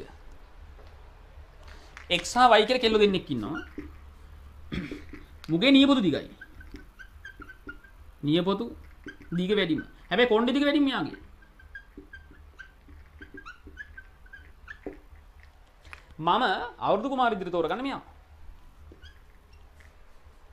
එතකොට මම මෙතනදී ප්‍රමුඛතම සාධක විතර බලලා තියෙන මොකක්ද නියපොතු වල දිගද මම බලලා තියෙන වැඩිපුරම කොණ්ඩේ දිගද කොණ්ඩේ දිග නියපොතු දිග කෙනාට අවුරුදු කුමාරිකකම දුන්නේ නැහැ මම මෙතනදී මම අවුරුදු කුමාරිකම දුන්නේ මෙයාට මෙතනදිත් ඒ වගේ. මම තාපාංකේ වැඩි කියලා තෝරගත්ත මෙයා නෙවෙයි මෙයා. මෙයාගේ තමයි තාපාංකේ වැඩි. ලන්ඩන් බල වැඩි කෙනාගේ. එහෙනම් මෙතන දීදව දීදව වලට වඩා ලන්ඩන් අප කරන බල මෙතන ප්‍රමුඛ වෙලා තියෙනවා. අපෙන් අහන්නේ ප්‍රමුඛතම අන්තර්ගය බල මෙතන දිනම් ලන්ඩන් බල. ලන්ඩන් අප කරන බල. හැම නිතරම හොම් වෙන්නේ නැහැ හොඳේ. සමහර තැන්වලදී සමහර අණුවලදී ඊදව දීදව ප්‍රමුඛයි සමහර අණුවලදී ලන්ඩන් අපකර බල ප්‍රමුඛයි. ඉතින් එක එක අණුවෙන් අණුව වෙනස්. එච්චරයි. ඔන්න පුතේ අපි 2014 ප්‍රශ්නේ සාකච්ඡා කළා. ඉතින් ඔයාලට වගකීමක් තියෙනවා පුතා ඉස්සරහා තියෙන ප්‍රශ්න සාකච්ඡා කරන්න. ඉතින් මට ඉදි තියෙන වෙලාවට පුළුවන් පුළුවන් ප්‍රශ්න සාකච්ඡා කරලා දෙන්නම්. සියලුම රචනා ව්‍යුහගත රචනා ප්‍රශ්න සාකච්ඡා කිරීමකුත් මගින් බලාපොරොත්තු වෙන්නේ පහරි අපරාධයක්. මොකද අපි MCQ ප්‍රශ්නත් කළා. අපිට තුන්වෙනි පාඩමේ වැඩක් තියෙනවා නේද? මේක ම අපි දැන් තුන්ගනි පාඩම වැඩක් කරන යනගම ඉතින් එනිසා ඔයාට ඔයාට බගේ මතින පුතා කොහොමද වියහුත රජන ප්‍රශ්නවල දිහා පැති උත්තරක් තියෙනවනේ? මම අර අවශ්‍යම අත්‍යවශ්‍යම දේවල් ටික සාකච්ඡා කරන්න යන්නම්. මේ පේපර් සාකච්ඡාවේදී තියරි ඉගෙන ගන්න බලාපොරොත්තු වෙන්න එපා. අපි තියරි වෙනමක් කළා. තියරි ටික මේක සියල්ල මුගන්ලා ඉවරයි. අපි මෙතනදි කරන්නේ ප්‍රශ්න සාකච්ඡා කිරීමක් සහ ඒ ප්‍රශ්න වලට වේගින් පිළිතුරු දීමට සඳහා අවශ්‍ය කරන මේ ප්‍රශ්න දිහා බලන්න ඕනේ විදිහයි මේ හදාන්නේ. පැහැදිලි මකිනදී